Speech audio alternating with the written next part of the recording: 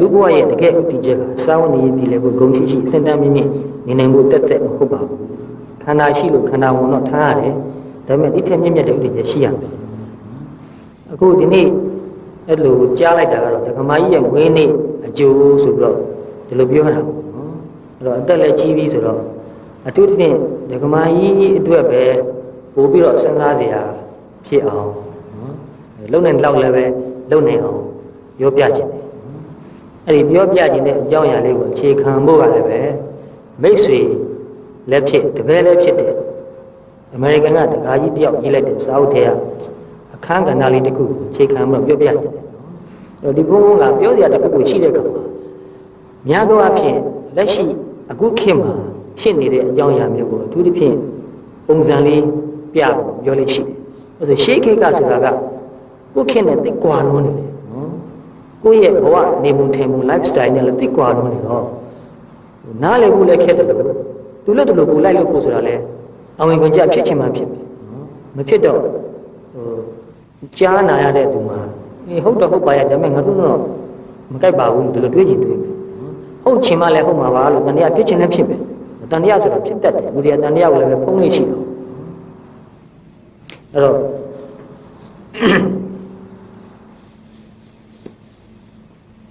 ဒီပြောကျင်တဲ့အကြောင်းအရာလေးကဒီစာအုပ်ထဲမှာပါတယ်ဒီစာအုပ်ကလည်းနာမည်လေးကအမတန်မှဟိုစိတ်ထဲမှာကြည်နူးပြီးတော့တရားတရားကိုဖြစ်စေတဲ့နာမည်လေးဖြစ်နေတယ်စာအုပ်နာမည်က In the Lap of the Buddha မြတ်စွာဘုရားရဲ့ဗုဒ္ဓရဲ့ရင်ခွင်မှာအဲ့တော့ဒီစာအုပ်ရေးတဲ့သူကဒီဖုံဖုံနဲ့အတူတူ အမေရိကန်ပြည်ကယ်လီဖိုးနီးယားပြည်နယ်ကဘိုလ်ဒါခရစ်နာမှာတမ်ပလူဘုန်းကြီးကျောင်းရှိတယ်အဲ့ဒီကျောင်းတစ်နှစ်လောက်လို့ထင်တယ်အတိအကျတော့မမှန်ဘူးတစ်နှစ်ပိုခြင်းလည်းပိုတယ်သူကလည်းယဟန်ဝတ်နဲ့အဲ့ဒီမှာလာနေတာကျောင်းဝင်လာပြီးသူယဟန်ဝတ်ပြီးအဲ့ဒီမှာတော်တော်ကြာကြာယဟန်ဝတ်နဲ့နေသွားတယ်ယဟန်ဝတ်တုန်းကသူ့ယဟန်ပွဲကဥဓမ္မတာမီအဲ့လိုယဟန်ဘွက်ပေးထားတာဒီမှာသူဓာတ်ပုံလေးလည်းပါ ဒီစာအုပ်ကိုလည်းမိတ်ဆွေတပည့်တယောက်ကသူဖတ်ပြီးတော့သူသဘောကျလို့ဆိုတော့သူကဖိုတိုကောပီကူးလို့ပို့လိုက်တယ်မှားတာလည်းမဟုတ်ဘူးရောက်လာတော့မှဒီနာမည်နဲ့ဒီဓာတ်ပုံကိုကြည့်လိုက်တော့ဒီစာအုပ်ရေးတဲ့လူကငါမိတ်ဆွေငါတပည့်ပါနော်သူ့ကိုဒီအဓိပဋ္ဌာန်တရားတွေအာထုတ်တတ်အောင်ဆိုပြီးတော့ယဟန်ဝန်းနဲ့ဒူလာနေတုန်းကနေ့စဉ်ပဲနည်းနည်းနည်းနည်းသူမေးတာတွေဖြေဆွေးနွေးအဲ့လိုအတွေ့အကြုံကိုကိုတွေ့ခဲ့ကြုံခဲ့တာတွေသူပြောပြခဲ့ရတာတော့ အင်တာစိတ်နဲ့သဘောထားကောင်းတော့အလုံးမဲအေးချမ်းတဲ့သူပါသူ့ရဲ့ personality ကိုကနူးညံ့တဲ့သူဖြစ်တယ်အေးချမ်းတဲ့သူဖြစ်တယ်ခင်မင်စရာကောင်းတယ်ဒါပေမဲ့မမပြန်လာပြီးနောက်မှသူနဲ့လည်းဆက်တဲ့သိမရှိတော့သူဘာတွေလုပ်နေတယ်ဘာတွေဖြစ်နေတယ်ဆိုတာမသိဘူးဒီစာအုပ်လေးရတော့မှဩဒီစာအုပ်ကိုသူရေးတာပါလားနော်အဲ့တော့ဒီစာအုပ်ရတော့မှလည်းဒီပုံပုံလေးနဲ့နေမကောင်းဖြစ်နေတဲ့အချိန်ဖြစ်နေတော့ချက်ချင်းတော့မဖတ်ဖြစ်နည်းနည်းလေးနဲ့နေကောင်းရောသူ့စာအုပ်ကိုဖတ်ကြည့်တော့အင်မတန်ကောင်းတာပဲသူ့စာအုပ်ကနော်အဲ့တော့ ဒီစာအုပ်ထဲကနောက်ဆုံးအခန်းကဏ္ဍလေးကိုသိတဲ့ဘောကြတယ်တချို့ကြုံတဲ့တရားဓမ္မတွေကိုနည်းနည်းတော့ပြောခဲ့ပူပါတယ်အခုတော့ကြုံလုံးမှာပြည့်ပြည့်စုံစုံပြောလိုက်ချင်တယ်ဒီအကြောင်းအရာကိုသူကမြတ်စွာဘုရားပြိနိဗ္ဗာန်ပြုသွားတာလေးကိုအခြေခံလိုက်တယ်သူ chapter တိုင်း chapter တိုင်းမှာနော်အခန်းတိုင်းခန်းတိုင်းမှာဘုရားနဲ့ပတ်သက်တဲ့အကြောင်းအရာလေးနည်းနည်းလေးကိုသူအရင်ဆုံးရေးလိုက်တယ်ပြီးမှသူ့ဘဝမှာဖြစ်နေတာ ਨੇ ဒီဘုရားရဲ့ဘဝမှာဖြစ်ခဲ့တဲ့အကြောင်းအရာကိုပဲသူဘယ်လိုနီးယူပြီးတော့နှလုံးသွင်းပြီးတော့ကျင့်သုံးသွားတယ်ဆိုတော့လေထည့်ရတာသိကောင်းတာပဲနော်အဲ့တော့ဒီဘုံဘုံတို့လည်းပြောရမယ်ဆိုရင်ပေါ့လေဟိုမြတ်စွာဘုရားရဲ့အဲဖြစ်စဉ်ကိုကြည့်ပြီးတော့ချုပ်နေရာတွေမှာနီးယူခဲ့တာအားကျခဲ့တာချုပ်နေရာတွေမှာအတူယူခဲ့တာရှိပါတယ်ဥပမာပြောရမယ်ဆိုရင်ကိုယ်စိတ်ထဲမှာယဟန်ကိုကျင်စိတ်ပေါက်လာတဲ့ခါကျတော့ မြတ်စွာဘုရားတောထွက်တော်မူတဲ့အကြောင်းခဏခဏပြန်ပြန်ဖတ်တယ်ပြန်ပြန်စဉ်းစားတယ်နော်သူ့မှာဒီအားလုံးကိုစွန့်ထုတ်ပြီးတော့သွားနိုင်ဖို့ဒီဘလောက်ခက်ခဲမလဲဆိုတာဘလောက်ပဲပါမီရှိရှိလွယ်တော့မလွယ်ဘူးနော်စိတ်ကိုတော်တော်ကိုအားမွေးပြီးတော့ရုန်းကန်ရတာအဲအောင်စင်ဆိုတာအမှန်တန်ကြီးတာပါဟောတည်းမဟုတ်ပါဘူးအဲ့တော့မြတ်စွာဘုရားရဲ့တပိတာဝကတွေဖြစ်တဲ့ဒကာဒကမတွေရောယဟန်တွေရောအားလုံးပဲဘုရားရဲ့ဘဝကို လေ့လာပြီးတော့နည်းနည်းလေးဖြစ်ဖြစ်နီးယူနိုင်မယ်ဆိုရင်အမှန်ကောင်းပါနော်အဲ့တော့လူတစ်ခုလောကမှာသဘောမှာဖြစ်တတ်တာရှိတယ်နော်အထူးဖြင့်လူငယ်တွေနော်တယောက်ကိုသိအားကြတယ်ဆိုရင်မလုပ်တတ်တယ်သူလို့သူလို့လိုက်လုပ်ချင်တယ်လိုက်တုတယ်နော်ဥမာရုပ်ရည်ပဲဖြစ်ဖြစ်အားကြတယ်ဆိုရင်သူ့ဘုသူလိုဝတ်ချင်တယ်သူကောင်းသပင်ထားသူလိုထားချင်တယ်အားကြရင်လိုက်တုတယ်အဲကြည်ညိုရင်လည်းဒီလိုပါပဲနော်အဲ့တော့ဘုရားကိုသိကြည်ညိုတဲ့လူတွေကနောက်ဆုံးဘယ်လောက်ထိအောင်ဖြစ်ချင်လဲဆိုတော့ကိုယ်ကိုယ်တိုင်တော့ဘုရားဖြစ်ချင်စိတ်ပေါက်လာတယ် ဘုရားကုံတော်တွေပွားပွားပွားပြီးတော့ဟောဘုရားအမြဲမြင့်မြတ်တယ်စင်ကြယ်တယ်အမြဲအတိညာကြီးတယ်အမြဲကရုဏာကြီးတယ်စသဖြင့်ဒီလိုသဘောတွေနှလုံးသွင်းနှလုံးသွင်းနေကြည်ညိုတဲ့စိတ်သိအားကြီးတော့တဲ့ခါမှာကိုယ်ကိုယ်တိုင်တော့ဘုရားဖြစ်စိတ်ပေါက်လာတယ်အဲ့တော့ဒီဘုရားကိုတကယ်ကြည်ညိုတယ်ဆိုရင်မြတ်စွာဘုရားကိုယ်တိုင်နေသွားတဲ့ဖြစ်စဉ်ကြည့်ပြီးတော့ကိုယ်လုံနိုင်တဲ့လောက်နည်းနည်းလေးဖြစ်ဖြစ်လည်းလုံစေချင်တယ်ဥပမာဆိုပါတော့ ဥပုံနေမှာ၈ပါးသီလစောင့်ထိန်ပြီးတော့နေတဲ့အခါမှာတချို့တရားတွေကမှစာပေထဲမှာလည်းတွေ့ဘူးလို့သူတို့နှလုံးသွင်းတာနော်အဲ့တော့ငါတို့ကိုးကွယ်တဲ့ငါတို့ရဲ့မြတ်စွာဘုရားဟာသူတစ်ပါးတက်ကိုသတ်နော်အဲ့တော့ငါတို့လည်းပဲသူတစ်ပါးတက်ကိုသတ်ဒါလေးတစ်ခုကဘုရားကိုအတူလိုက်တာလိုက်တာပဲနော်ငါတို့ဆရာငါတို့မြတ်စွာဘုရားသူတစ်ပါးတက်ကိုမတတ်ဘူးဒါကြောင့်ငါတို့လည်းပဲသူတစ်ပါးတက်ကိုတတ်သူလိုလိုက်တူအဲ့တော့ ဒီသူတစ်ပါးတက်ကိုတတ်ခြင်းအပြစ်ကိုလည်းပဲသိပြီးတော့ညံနဲ့ရှောင်ကျင်တယ်ဆိုရင်လည်းပဲကောင်းပါတယ်နော်ဘုဒ္ဓတချို့ကိစ္စတွေမှာတော့ကိုကြည်ညိုတဲ့ပုဂ္ဂိုလ်ကိုကြည်ညိုလုံးလို့သူလို့သူလိုက်လောက်တာလည်းပဲရှိတတ်ပါတယ်အဲ့ဒါလိုပဲဘုရားဟာသူတစ်ပါးမပေးတာကိုမယူဘူးငါတို့လည်းသူတစ်ပါးမပေးတာမယူမြတ်စွာဘုရားဟိုဒါတော့ဘုရားကျတော့လုံးဝကာမဂုဏ်တွေတုံးကင်းတာနော်အဲ့တော့ဥပုသ်ဆောင်တဲ့နေ့မှာတော့ဒီတနေ့ဖို့တော့ငါတို့ဟာမြမစရိယတိတ်ခါဘုတ်ကို စောင့်စည်းပြီးတော့နေမယ်ကာမဂုဏ်အယုံခံစားဘူးဒီတနေ့တာဖို့တော့ဘုရားနဲ့နည်းနည်းလေးပြပြတူတဲ့ချင်းကိုကျင့်ရပြီနော်အဲအဲ့တော့အဲသူတစ်ပါးကိုလိန်လေဝါကြွားပြီးတော့ငါတို့မပြောဘူးငါတို့မြတ်စွာဘုရားဟာပြောသလိုလုပ်တယ်လုပ်သလိုပြောတယ်ယထာဝါဒီတထာကာရီယထာကာရီတထာဝါဒီပြောရတဲ့လောက်တာမှာဂျာမ gap မရှိဘူးကွာဟချက်မရှိဘူးနော်အဲ့တော့ငါတို့လည်းပဲဒီတနေ့ဖို့တော့အ ਨੇ ဆုံးပေါ့နော် မဟုတ်တာမမှန်တာနောက်ဆုံးနည်းနည်းလေးပြပြကြွားတာတော့မှမပြောမိအောင်ထိမ့်သိမ့်မယ်မကြွားတော့ပြောတာနဲ့လုပ်တာနဲ့ထပ်ထပ်ဖြစ်ရပဲအဲ့တော့ဒီတနေ့ကိုတော့ငါတို့ကငွေရည်သေးစားကိုမသုံးဘူးတတိမိမိလေးရော့နေတဲ့အကျင့်ကမကောင်းဘူးတို့ဆရာမြတ်စွာဘုရားအမြဲတမ်းအပမဒိနသမာဓိထဆိုတဲ့အဆုံးအမကိုဆုံးမလေးရှိတယ်ဘယ်တော့မှမမေ့ဘူးအမြဲတမ်းတတိကပ်ပြနေဘူးဒီတတိဆိုတဲ့စကားလုံးကလည်းတိတယ်လို့နဲ့အိဗေကောက်ရွက်တတ်တယ် မှတ်ဉာဏ်ကောင်းတာကိုလည်းတတိကောင်းတယ်လို့ပြောတတ်တယ်နော်ဟို conscious ဖြစ်တာမတိုက်မိမခဲမိအောင်နည်းနည်းလေးတတိထားတာကိုလည်းပဲတတိကိုသုံးလို့ရှိတယ်နော်ဟုတ်ပါတယ်ဒါလည်းပဲနော်ဒါပေမဲ့ဒီတတိပဋ္ဌာန်တရားနဲ့ပတ်သက်ပြီးသုံးတဲ့အခါမှာတတိဆိုတာကပစ္စုပန်မှာဖြစ်နေတာကိုသိနေတာနော်ခန္ဓာကိုယ်မှာဖြစ်နေတာရုပ်ဖြစ်ခြင်းဖြစ်မယ်ဝေဒနာဖြစ်ခြင်းဖြစ်မယ်စိတ်ပဲဖြစ်ခြင်းဖြစ်မယ်သို့မဟုတ်ရင်ဒီဓမ္မသဘောတွေပဲဖြစ်ခြင်းဖြစ်မယ်တခုခုပစ္စုပန်မှာဖြစ်နေတာကိုတဲ့တဲ့လေးသိပြီးတော့နေတာကိုတတိလို့ခေါ်တယ် ဒီလိုပစ္စုပန်မှာဖြစ်နေတာကိုတကယ်သိပြီးတော့နေတဲ့ခိုက်မှာလည်းပဲဒီလိုနေတဲ့အချင်းကိုလှုပ်လာတဲ့လူကလည်းပဲကြံတဲ့တတိတွေလည်းပဲအထက်လျောက်ကောင်းလာတယ်နော်တိုက်ပြီးခိုင်းပြီးတော့ဆိုသူ့မှာနဲသွားနိုင်တယ်ဘာလို့လဲဆိုတော့တွားတိုင်းလာတိုင်းသူကတတိကရှိနေတာနော်ဥမာကားမောင်းတဲ့လူတွေဆိုတော့စိတ်ကဟိုတိတိတွေးပြီးတော့ကားထဲမှာစိတ်မရှိဘူးလမ်းပေါ်မှာစိတ်မရှိဘူးဆိုတော့လမ်းမှာဘာဖြစ်နေဆိုတော့အာယုံမပြုတ်မိဘူးဆိုရင်ကားတိုက်တော်နေနော်ဒီထက်ပိုဆိုးတာကတော့အရက်တို့မွေးစေဝါတို့တောက်စားပြီးတော့ကားမောင်းမယ်ဆိုရင်တော့အင်မတန်ကြောက်စရာကောင်းတယ် အဲ့တော့တတိကိုမေ့လျော့စေတဲ့အရာမျိုးမြတ်စွာဘုရားအာမပေးဘူးအဆိုးဆုံးဟာအဲ့ဒီမောဟပဲတတိလက်လွတ်နေတာအဲ့တော့အဲဒီနောက်တိတ်ခါဘုတ်တစ်ခုဆိုရင်နေလွညစာကိုစားဘူးငါတို့ဆရာမြတ်စွာဘုရားဟာနေလွညစာကိုစားဘူးဒီတနေ့ကိုတော့ငါတို့လည်းပဲနေလွညစာကိုစားဒီလိုဥပုသ်ဆောင်တဲ့ကံမှာတစ်ခုချင်းတစ်ခုချင်းဒီလိုဆင်ញင်လိုက်မယ်ဆိုရင်တော့မှနော်ကိုဥပုသ်ဆောင်ရတဲ့လေဟာပို့ပြီးတော့လေးနဲ့လာတယ်ပို့ပြီးတော့ကြည်နူးစရာဖြစ်လာတယ်ငါတို့ကဘုရားလောက်မလုပ်နိုင်ပေမဲ့ သူလုပ်နေတာသူလုပ်ခဲ့တဲ့တရားတချို့တော့နည်းနည်းလောက်ဖြစ်ဖြစ်ကိုယ်အတိုင်းတာလေးနဲ့ကိုလိုက်လုပ်ပါတယ်ပေါ်လွင်လာတယ်အဲ့ဒါလိုပဲကာချင်းကိုကြီးဒီဆိုချင်းဒီမို့ချင်းကြည့်ရှုချင်းနားထောင်ချင်းအမွှေးနာသားတွေကိုလိန်ချင်းငါတို့မြတ်စွာဘုရားအဲ့ဒါမလုပ်ဘူးအဲ့တော့ဒီနေ့ဖို့ငါတို့လည်းပဲတိကရာကုဏတိဆိုတာတိမို့တာဒါတွေကနေတိုင်းလုပ်နေတာပဲတရက်တလေမလုပ်တော့ပါဖြစ်ရမှာမွှေးနာတာတွေလိန်နာတွေပါတွေဒါတွေလည်းနေတိုင်းလုပ်နေတာပဲဒီတရက်တလေမလုပ်တော့ပါဖြစ်ရမှာ တန်တန်ရှင်းရှင်းရေချိုးထားပြီးပြီးတာပဲအဲ့တော့တို့ဒီဒီနေ့တော့မလုပ်ပါဘူးဒါတွေနော်လျှော့လိုက်တော့အဲအဲ့ဒါလိုပဲမြင့်တော်နေရာမြတ်တော်နေရာမှာတခန်းတနာနေတာထိုင်တာတွေငါတို့ဆရာမြတ်စွာဘုရားမလုပ်ဘူးအဲ့တော့ငါတို့လည်းပဲအဲ့လိုတခန့်တနနေတာထိုင်တာမလုပ်ဘူးနော်ဒီနေ့တော့ရိုးရိုးလေးပဲနေတော့မယ်မှန်ကိုချလိုက်တယ်နော်အဲ့ဒါလို့ဆင်ញင်လိုက်မှဆိုရင်ဒီရှိပါသီလဥပုပ်လေးစောင့်ရတာကိုကအင်မတန်လေးနဲ့အင်မတန်မြင့်မြတ်ပြီးတော့အင်မတန်ကြည်နူးစရာကောင်းတာပဲ ဘာမှစိတ်မပင်ပန်းတော့ဘူးစိတ်ကအင်တန်အားတက်လာတယ်ပီတိတွေတောင်ဖြစ်လာတယ်နော်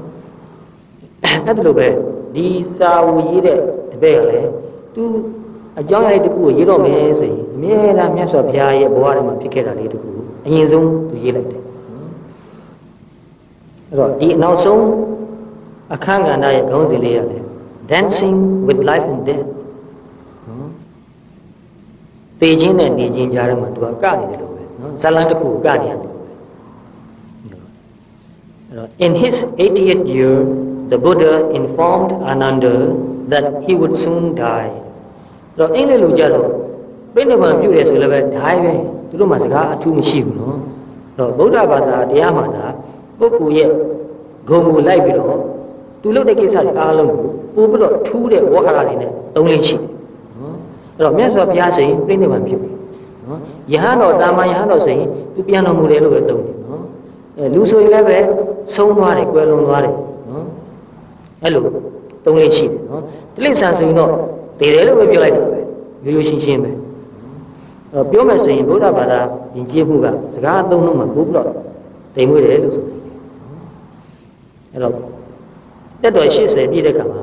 မြတ်စွာဘုရားညီတော်အနန္ဒာကိုမကြခင်မှာပဲပြိဋိဘံပြုတော်မယ်လို့နှိမ့်တော်မူတယ်နော်နောက်3လလောက်ကြာရင်ပြိဋိဘံပြုမယ်လို့မဟာပြိဋိဘံတုတ်ပါပါတယ် Ananda was grief stricken အချင်းချင်းတော့ကဖြစ်တော့အာနန္ဒာမြတ်စွာဘုရားနဲ့ဟောဘတ်တော်ဟိုညီကိုလဲတော်တာဆိုတော့အင်မတန်တောင်းစင်ကြီးပါတယ်နော်မြတ်စွာဘုရားကိုလည်းပဲတက်လုံးပြုစုပြီးခဲ့တဲ့ပုဂ္ဂိုလ်ဖြစ်တယ်ဟောညီတော်အာနန္ဒာဟာတခြားမထေများနဲ့မတူဘူးမြတ်စွာဘုရားရဲ့ဝေယဝဆကိုလည်းပဲလုံးဝလူတွေသိမရှိအောင်မိုးလင်းတဲ့အချိန်နဲ့နောက်ဆုံးမြတ်စွာဘုရားကျင့်ဆက်နားယူတဲ့အချိန်ထိအောင်မလစ်ဟင်းအောင်လုပ်တယ်ဒီကြားတဲ့က ယဟန်တန်ခါများနဲ့ပတ်သက်တဲ့ဝေယဝဆကိုလည်းပဲလုပ်ပါတယ်နော်တရားဓမ္မတွေလာတဲ့ခါမှာလည်းပဲမြတ်စွာဘုရားကိုဖူးရဖို့တွေ့ရဖို့တရားနာရဖို့အစဉ်ပြေအောင်အစီအစဉ်လုပ်ပေးတယ်နော်ဘုရားတွေ့လဲအစဉ်ပြေအောင်တရားဓမ္မတွေတွေ့လဲအစဉ်ပြေအောင်သူအစီအစဉ်လုပ်ပေးတယ်ယဟန်နေမှာဒီစီလေးပါချို့တဲ့နေမှာဆိုလို့လည်းပဲသူကိုယ်တိုင်ပစ္စည်းလေးပါကိုရအောင်ရှားပြီးတော့ရှားဆိုတော့တောင်းတာတော့မဟုတ်ဘူးသူ့ကိုကြည်ညိုတဲ့တပိတရားဓမ္မတွေအတများတာများတော့တရားဓမ္မတွေကညီတော်အနန္ဒမထေရကိုလှူတဲ့ ပစ္စည်းလေးပါကိုညီတော်အနန္ဒမထေရကယဟန်တွေကိုပြန်ပြီးတော့ဝေမျှမချို့တဲ့အောင်လို့စောင့်ရှောက်တယ်နော်အဲ့တော့သူ့မှာတာဝန်အတန်ကြီးပါတယ်အဲ့တော့မြတ်စွာဘုရားပြိဋိဘံပြုတဲ့အချိန်မှာညီတော်အနန္ဒမထေရသောတာပန်ပဲဖြစ်သေးတယ်နော်ယဟန္တာမဖြစ်သေးဘူးအဲ့တော့သောတာပန်ဆိုတော့ဒိဋ္ဌိဝိသိကိစ္စတိလပ္ပတပရာမာသဣတ္တမစ္စရိယတွေကင်းပေမဲ့လောဘဒေါသမကင်းသေးဘူးနော်ဝန်းနေနိုင်သေးတယ်အဲ့ တော့ညီတော်အနန္ဒာမထေရအင်မတန်ဝန်းနေတယ် he wept profusely as he told the other monks တခြားယဟန်တွေပြောရင်းကနေညီတော်အနန္ဒာမထေရတခါတည်းကိုချုံချဖို့မူတာပဲနော် alas the enlightened one will soon die မြတ်စွာဘုရားမကြတဲ့ဒီမှာပြိဋိဘံပြုတော့မှာပါလား I am still a student with much yet to learn ငါလည်းပဲတရားကိစ္စမပြီးသေးဘူးအများကြီးလိုသေးတယ် He who has been so kind to me will shortly pass utterly away နောက်ပါမှာဒီလောက်ထိအောင်မေတ္တာကရုဏာကြီးတဲ့ပုဂ္ဂိုလ်ကြီးဟာမကြခင်လွန်သွားတော့မယ်နော် pass away တော့မြတ်စွာဘုရားအမြဲတမ်းမေတ္တာကရုဏာကြီးမားတာကိုယ့်ပုံမှာအမြဲတမ်းမေတ္တာကရုဏာကြီးမားတဲ့သူတယောက်မကြခင်မှာပြိဋိဘံပြုသွားတော့မယ်မကြခင်မှာကွယ်လွန်သွားတော့မယ်ဆိုတော့စိတ်မကောင်းဖြစ်တာပါပဲနော်အဲ့တော့အခုလည်းသတိထားကြည့်နော် ကို့အမေဖေဆိုတာကို့ပုံမှာမေတ္တာကရုဏာအပြန်ကြီးမားတဲ့သူပဲနော်ရှိတဲ့ခိုက်မှာချို့ကြတော့မိဘရဲ့မေတ္တာကရုဏာကိုတတိမထားမိဘူးအာယုံမပြုတ်မိဘူးမိဘကိုနဲ့ရံပြန်တွေ့တယ်မိဘကိုပြန်ခံပြောတယ်အဲ့လိုတွေချို့ဆိုပြစ်ထားတယ်ပြုစုဘူးမဆောင်ရှောက်ဘူး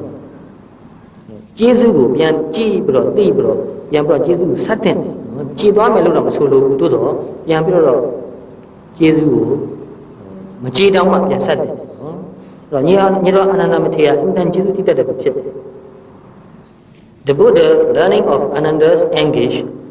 called him to his bedside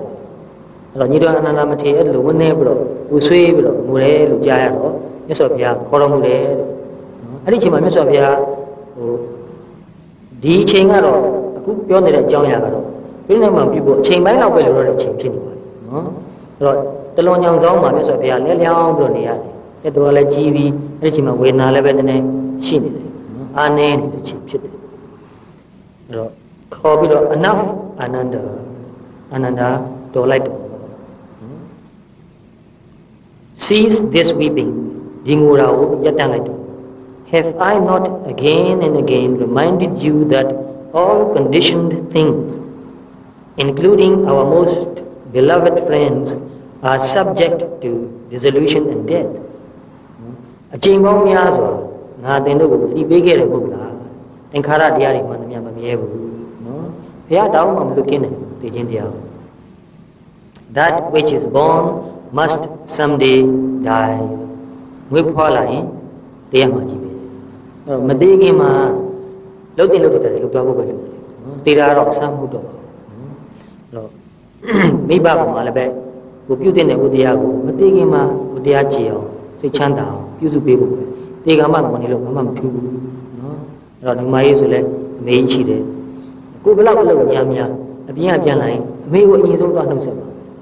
မနေ့အရာထပြီးလည်းပဲအရင်ဆုံးအမေကိုနှုတ်ဆက်ပါအမေနိုးပြီလားအမေစားရတော့ပြီလားအမေဘယ်လိုနေလဲကျေးဇူးအမှန်ကြီးတဲ့အမေဖြစ်ပါတယ်တနေ့မှတစ်ခါမှမွေးနေ့လုပ်တဲ့မျိုးလောက်လုံးလောက်တိတ်ဘူးနော်နေ့စဉ်နေ့စဉ်အမေဝတ်တရားကိုခြေပြုံလုပ်ဖို့လိုတယ်အဲ့တော့အမေကလည်းပဲ ကိုသားသမီးတွေပြည်တွေပြင်သွားတဲ့အခါအိမ်မှာနေပြီးတော့ဩအန္တရာယ်ကင်းကြပါစေဘေးကင်းကြပါစေသူတို့စိတ်ချမ်းသာကိုယ်ချမ်းသာနဲ့တို့လူချင်းနေတဲ့လူမှုရေးတွေစီးပွားရေးတွေပညာရေးတွေနော်ကျမ်းမာရေးနဲ့ပတ်သက်တာတွေဘာသာရေးနဲ့ပတ်သက်တာတွေလုပ်နိုင်ကြပါစေမေတ္တာပို့နော်အဲ့တော့မိခင်ရဲ့မေတ္တာကိုဒီလိုရတဲ့အခါမှာမေတ္တာကြောင့်လည်းပဲတကယ်ပဲအန္တရာယ်နည်းသောနည်းပါးသွားပါတယ်နော် it is the nature of things ဒါသဘာဝပဲခုနပြောတဲ့အချက်ပဲနော်မွေးဖွားလာပြီးအားလုံးကတည်ဆုံးရတာပါနော်အမေလည်းတမိသိမှာနော်အဓိကကတော့ဒီသိမှာကိုမေ့ထားဖို့လည်းမသိဘူးနော်မသေးတော့ဘူးလို့ဟန်လို့တော့လည်းမနေသိဘူးဒီနေ့သိမှာကိုသိတဲ့အတွက်ကြောင့်မသေးခင်လေးမှာထီထီရောက်ရောက်လှိုက်လိုက်လဲလဲနော်တကယ်ကို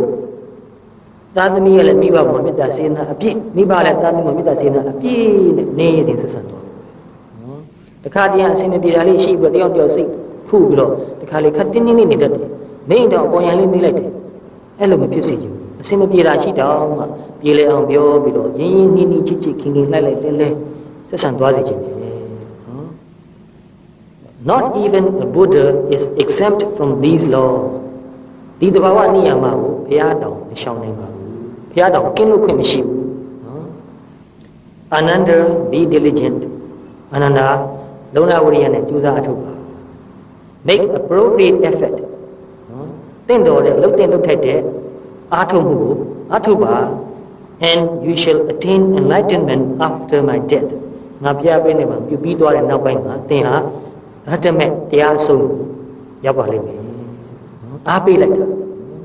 အဲ့တော့ပြီးတော့အဲ့ဒီပြိဋိဘာနာတုတ်မှာပဲမဟာပြိဋိဘာနာတုတ်မှာပဲပါဠိဂါထာလေးဟောခဲ့တာဒီမှာအင်္ဂလိပ်လိုဘာသာပြန်ထားတာလေးပါနေတယ် အတိတ်ပေရတော့အတန်ရိုးအတန်ရှင်းပါတယ် be an island unto yourself island ဆိုတာကျွန်းနော်ပင်လယ်သမုဒ္ဒရာလေကောင်မှာကျွန်းလေးရှိတယ်ပင်လယ်သမုဒ္ဒရာမှာလည်းတခါတော့မုန်တိုင်းတွေထလှိုင်းကြီးတွေထတယ်ဒီမှာလူကြောက်ကလည်းမျောနေတယ်ဆိုတော့ကျွန်းလေးတစ်ကျွန်းမြင်ရင်ဘယ်နဲ့နေမလဲအင်တန်ဝန်တာမှာဒီကျွန်းဝန်တာငါရောက်သွားရင်တော့ငါဒီဒုက္ခနေလို့ပြီနော်အာကိုရအားထရရပြီထောက်တရရပြီအဲ့လိုဖြစ်မှာနော်အဲ့တော့ မိမိကိုယ်ကိုတဲ့အဲ့လိုလိုင်းသဘောတွေထားနေတဲ့ပင်လယ်သမုဒ္ဒရာတွေကကျွန်းလေးတစ်ကျွန်းတစ်ခွက်ဖြစ်အောင်လုပ်ပါတယ်ကိုယ့်ကိုယ်ကိုလှုပ်ယူရမှာနော်အလိုလျောက်တော့ဖြစ်မလာဘူးလှုပ်ယူရမှာ be your own refuge refuge ဆိုတာအားကိုးရအားထားရကိုးခွေရစီကတ်အခုတဏ္ဍကုံဆောက်တည်တာကိုလည်းပဲအင်္ဂလိပ်လို refuge လို့နော်အဲ့တော့မိမိကိုယ်ကိုမိမိကိုးခွေရအားထားရဖြစ်အောင်လုပ်ပါတဲ့နော် make the dharma your island တရားကိုမိမိအတွက်ထောက်တရားဖြစ်တဲ့ကျွန်းလေးတစ်ပွဲဖြစ်အောင်လုပ်ပါ make the dharma your refuge တရားကိုတင့်တွေကိုယ်ွယ်အားထားရဖြစ်အောင်လုပ်ပါ take no other refuge တခြားဘယ်အရာကိုမှမိမိအတွက်ကိုယ်ွယ်အားထားရဖြစ်အောင်မလုပ်ပါနဲ့ဒီစကားတွေအမှန်တန်လေးနဲ့တည်းနော်လူဆိုတာပြင်ပမှာပဲကိုယ်ွယ်ရအားထားရအောင်ရှားလေးရှိတယ်တခြားတခြားဘာသာတရားတွေကိုလေ့လာမယ်ဆိုလည်းပဲ ကိုယ့်ကိုယ်ကိုအားကိုးဖို့ရမပြောဘူးမတိုက်တော့ဘူးပုဂ္ဂိုလ်တူဦးနော်တကိုးရှင်ဖန်ဆင်းရှင်စသဖြင့်သူတို့မှန်းထားတဲ့တခြားပုဂ္ဂိုလ်ပြင်ပပုဂ္ဂိုလ်တူဦးကိုပဲပုံပြီးတော့အားကိုးလိုက်ဖို့ပဲတိုက်တွန်းလေးရှိတယ်ဘုရားဘာသာတရားမှာတော့မြတ်စွာဘုရားမိမိကိုယ်ကိုပဲအားကိုးတယ်ပြင်ပဘသူကိုမှအာမကိုးနေတယ်နော်အဲ့တော့အင်မတန်စိတ်တက်ခိုင်မာရင်းကျစ်တဲ့သူမှသာရင်အဲ့ဒီစိတ်ထားမျိုးထားလို့ရတယ်အဲ့ဒီအလုပ်ကိုလုပ်လို့လည်းရတယ် စိတ်တက်ပြုံးညံ့တဲ့လူကကိုယ့်ကိုယ်ကိုအာမကိုးခြင်းအားကိုးရအောင်ရှာခြင်းဘသူများအားကိုးရမလဲကဲတင်ရှင်တကုရှင်ဖန်ဆင်းရှင်အဲ့လိုလိုက်ရှာနေတာနော်အဲ့တော့ဗုဒ္ဓဘာသာတရားဟာကဲတင်ရှင်တကုရှင်ဖန်ဆင်းစဉ်ရှင်ကိုကိုးကွယ်တဲ့တရားမဟုတ် personality ကိုကိုးကွယ်တဲ့တရားမဟုတ်ပုဂ္ဂိုလ်ကိုးကွယ်တရားမဟုတ်တကယ်ပြောမယ်ဆိုရင်နော်အကြောင်းမြတ်စွာဘုရားတော်မှာတရားကိုသိမှဘုရားကိုသိမယ်တရားကိုမြင်မှဘုရားကိုမြင်မယ် ဒီခန္ဓာကိုယ်ရုပ်ကြည့်ရဘုရားမဟုတ်ဘူးတကယ်တော့ဘုရားဆိုတဲ့တပင်ညဉာဏ်တော်ရဲ့ကိန်းဝရတာလည်းဖြစ်တယ်နော်မြတ်စွာဘုရားရဲ့ခန္ဓာကိုယ်အားတော်မှဉာဏ်တော်ရဲ့ကိန်းဝရပဲဖြစ်တယ်အဲ့တော့မြတ်စွာဘုရားပြိဋိဘံပြုသွားပြီးတဲ့နောက်ပထမသံဃာနာမတင်ငင်လေးမှာပဲရေတော်အနန္တမထေရတရားထုတ်ပြီးပြိဋိဘံအဟတမေရသွားတယ်ဒီကြောင့်မို့တော့အကျဉ်မပြောတော့နော်အခုဒီစာအုပ်ကိုရေးလိုက်တဲ့ တပည့်သူ့ဘဝသူ့အခြေအနေကသူကအသက်45နှစ်လောက်ရှိပြီအခုဆိုနော်ဒီဘုံဘုံနဲ့သူက3နှစ်လောက်4နှစ်လောက်နေတာသူ့မှာကုလို့မပြောင်းနိုင်တော့တဲ့ယောဂတစ်ခုလည်းဖြစ်နေတယ်အဲ့တော့သိချတဲ့ဒီယောဂဘယ်လို့မှကုလို့မပြောက်တော့ဆရာဝန်တွေကလည်းပဲဟိုနှစ်ပိုင်းခြားသူတို့ခံမှန်းပြီးတော့ပြောတယ်ဘယ်လောက်ထိအောင်နေရမယ်လို့ပြောတယ်ဒါပေမဲ့ဆရာဝန်တွေခံမှန်းတဲ့သူ နှစ်တော်လွန်သွားပြီအသက်ရှင်နေတာနော်ဆရာဝန်တွေခံမှန်းတာက၄၅နှစ်လောက်ပဲနေရမယ်လို့မှန်းတာကိုဒီစာအုပ်ပုံနှိပ်တဲ့ချိန်ခုနှစ်တကိတ်ကိုကြည့်လိုက်တော့1994ခုဖြစ်တယ်မနှစ်ကပဲနော်သူမကြမ်းမမာဖြစ်နေတာက1980နဲ့တခုနှစ်ခရေကဖြစ်တာကြာပြီနော်ဒီဘုန်းနဲ့တွေ့တဲ့ချိန်မှာ1983ခုနဲ့4ခုနှစ်ခုနှစ်နှစ်ကိုခွာဖို့တွေ့တာနော် 1983ခုဧပြီလလောက်မှာဒီဘုန်းကဧပြီဇွန်လလောက်အမေရိကန်ကိုကြွလာတာနော်အဲ့ဒီတော့ကသူနဲ့တွေ့ပြီးတော့1984ခုဝါဆိုဂာနီလောက်မှာပါပြီးပြန်လာလိုက်တာပဲအဲ့တော့ဆရာဝန်နေမှန်းတဲ့သူအသက်တော်တော်တော်ပိုးရှိနေတယ်နော်အံ့ဩစရာပဲအဲ့တော့သူကဘယ်လောက်ထိအောင်ယုံကြည်လဲဆိုတော့ဒီတိုင်းကတရားကိုဆက်ပြီးတော့အားထုတ်သွားမယ်ဆိုရင်သူတက်တန်းစိတ်နေနေလောက်တယ်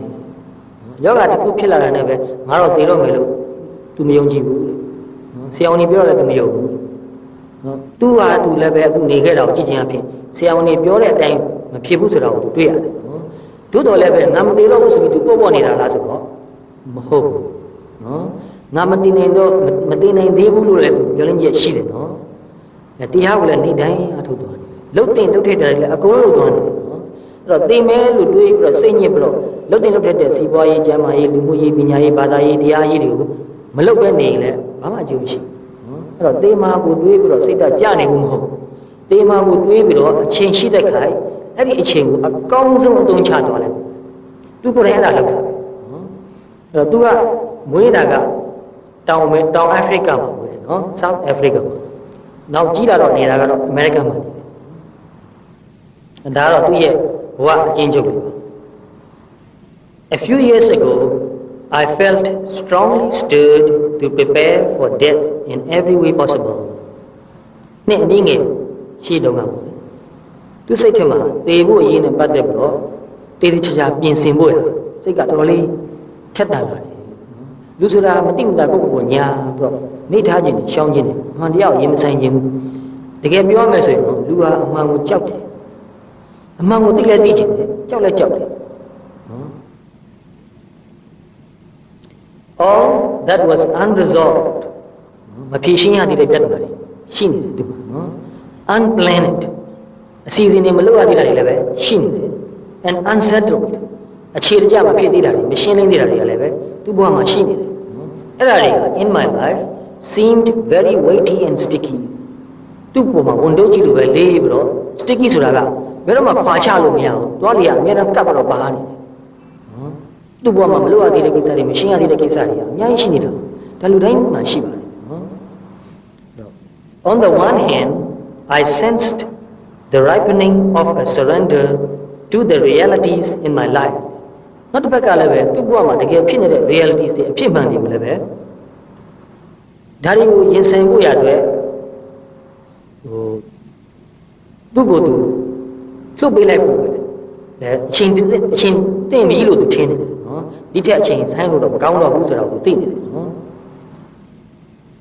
On the other hand I felt undermined by all that impeded my letting go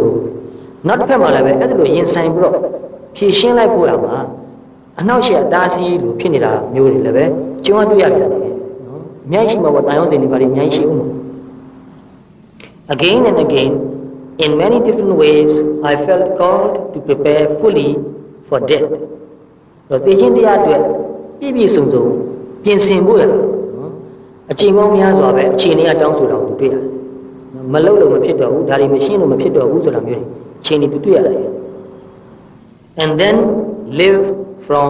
that preparedness အဲ့ဒီစကားအလေးနဲ့ဆုံးပိုင်မယ်နော် and then အဲ့ဒါလို့ပြင်ပြီးတဲ့နောက်မှာ live from that preparedness အစင်သင့်ဖြစ်ပြီးမှနောက် နေသွားတော့ဆက်ပါနော်အဲ့တော့ဥပမာဆိုတော့ဆောင်းဝဲအကြီးကြီးတစ်ခုကိုဖြေရမယ်ကျောင်းသားတယောက် final exam တစ်ခုခုကိုဖြေရမယ်ကျောင်းသားတယောက်ဟာစားရအကုန်ကြက်ပြီးပြီဆိုရင်မနဲ့နေဘူးသူစိတ်ကရှင်းပြီးတော့ပုံနေပြီနော်သူမှဟိုစားလဲပူနေရတာမျိုးအိတ်လဲပူနေရတာမျိုးတခြားဟိုလို့ဒီဟာလို့လည်းပဲစိတ်ကမဖြောင့်တာမျိုးမရှိတော့ဘူးနော်အဲ့ဒါလိုပဲတရားအထုတ်ပြီးတော့ကိုယ်စိတ်ကိုသေချာပြင်ဆင်ပြီးသွားတယ်လို့ပါနောက်ထပ်ဘလောက်ပဲနေရနေရနော် စိတ်လွတ်လွတ်လပ်လပ်နေသွားလို့ရတယ်နော်အဲ့တော့ and then live from that preparedness ကြိုတင်ပြင်ဆင်ထားဖို့လိုတယ်ငါမသေးသေးဘူးလို့ပြောလို့ရမှာဒကမကြီးခင်ဖို့ဆိုဘယ်နဲ့နေလဲသူဘာတွေများပြင်ဆင်လိုက်တယ်သူထင်မှာမဟုတ်ဘူးနော်ငါတို့လည်းပြင်ဆင်ဖို့အချိန်ကြီးအများကြီးရှိဦးမှာပါနောက်မှပဲပြင်ဆင်တာပေါ့လို့သူထင်မှာပဲနော်ဒါပေမဲ့ပြောလို့မရဘူး I redrafted my wills နော် will ဆိုတာတည်တန်းစာကိုပြောတာအဲ့ဒါတွေကိုအသစ်ပြန်ရေးတယ်ပို့ပြီးတော့တိတိကျကျရှင်းရှင်းလင်းလင်းဖြစ်အောင်သူမရှိတဲ့ခါကမှအရှုပ်အရှင်းမကြံရရအောင်တေချာပြန်ရေးတယ် powers of attorney သူကကျမ်းမာရေးနဲ့မကောင်းတာတချို့သူလုပ်ငန်းနဲ့ပတ်သက်တာတွေကိုသူကိုယ်တိုင်မလုပ်နေတာတွေရှိတယ်အဲ့ဒါတွေကိုရှင်းနေနဲ့လွှဲပဲ and other legal documents and carefully arranged my personal affairs in a way that will serve those who will deal with my estate someday estate ဆိုတာသူ့ရဲ့ပစ္စည်းဥစ္စာလုပ်ငန်းကိုင်ကနေအိမ်တွေမြေတွေဒါတွေအားလုံးကိုပြောတာနော်အဲ့တော့သူ့ရဲ့ပစ္စည်းဥစ္စာတွေကိုနောက်အခါမှာတာဝန်လွှဲယူပြီးတော့ဆက်လက်ဆောင်ရွက်သွားရမယ်သူအမွေခံမို့ဘသူဖြစ်ဖြစ်အဲ့ဒီလူအတွက်အစဉ်ပြေသွားအောင်လုပ်ခဲ့တာနောက်ခါမှာအမှုတွေအမှုတွေရှုပ်နေအောင်သူရှင်းခဲ့တာ I have continuing discussions with friends and family about my wishes သူ့ရဲ့မိတ်ဆွေတွေသူ့ရဲ့မိသားစုတွေနဲ့သူဘယ်လိုဖြစ်ချင်တယ်ဆိုတာကိုထပ်ခါထပ်ခါဆွေးနွေးတယ်နော် about my wishes and priorities ဘယ်ဟာကိုသူဦးစားပေးတယ်နော်ပထမဦးဆုံးဘာလုပ်ပါနောက်တော့ဘာလုပ်ပါဘယ်ဟာကိုတော့ပထမဦးစားထားပါဒီလိုတွေသူရှင်းပြတယ်ဘာနဲ့ပတ်သက်တယ်လဲဆိုတော့ related to dying တရားနဲ့ပတ်သက်ပြီးငါသိရင်ဘယ်လိုဘယ်လိုလုပ်လိုက်နော်ဒါတော့ဘုံဘုံတော်အခုတကယ်ကမှားထားတာတွေရှိတယ်မှားပြီးသားပဲအကြောင်းတစ်ခုခုကြောင့်ဖြစ်သွားနိုင်တယ်ဘယ်သူမှမပြောနိုင်ဘူးနော်အဲ့ တော့ငါပြန်တော်မူသွားရင်ဘယ်ကိစ္စဘယ်ကိစ္စဘယ်လိုဆိုတာဘယ်ပစ္စည်းဘယ်သူပေးလိုက်နောက်ဆုံးစာအုပ်ကစားဘယ်သူပေးပါဠိတော်စာအုပ်တွေဘယ်သူပေးလိုက်ပါဠိတော်မဟုတ်တဲ့တခြားစာအုပ်တွေကဘယ်သူပေးကျန်တဲ့ပစ္စည်းကဘယ်သူတွေဘယ်သူတွေယူလိုက်ကြတော့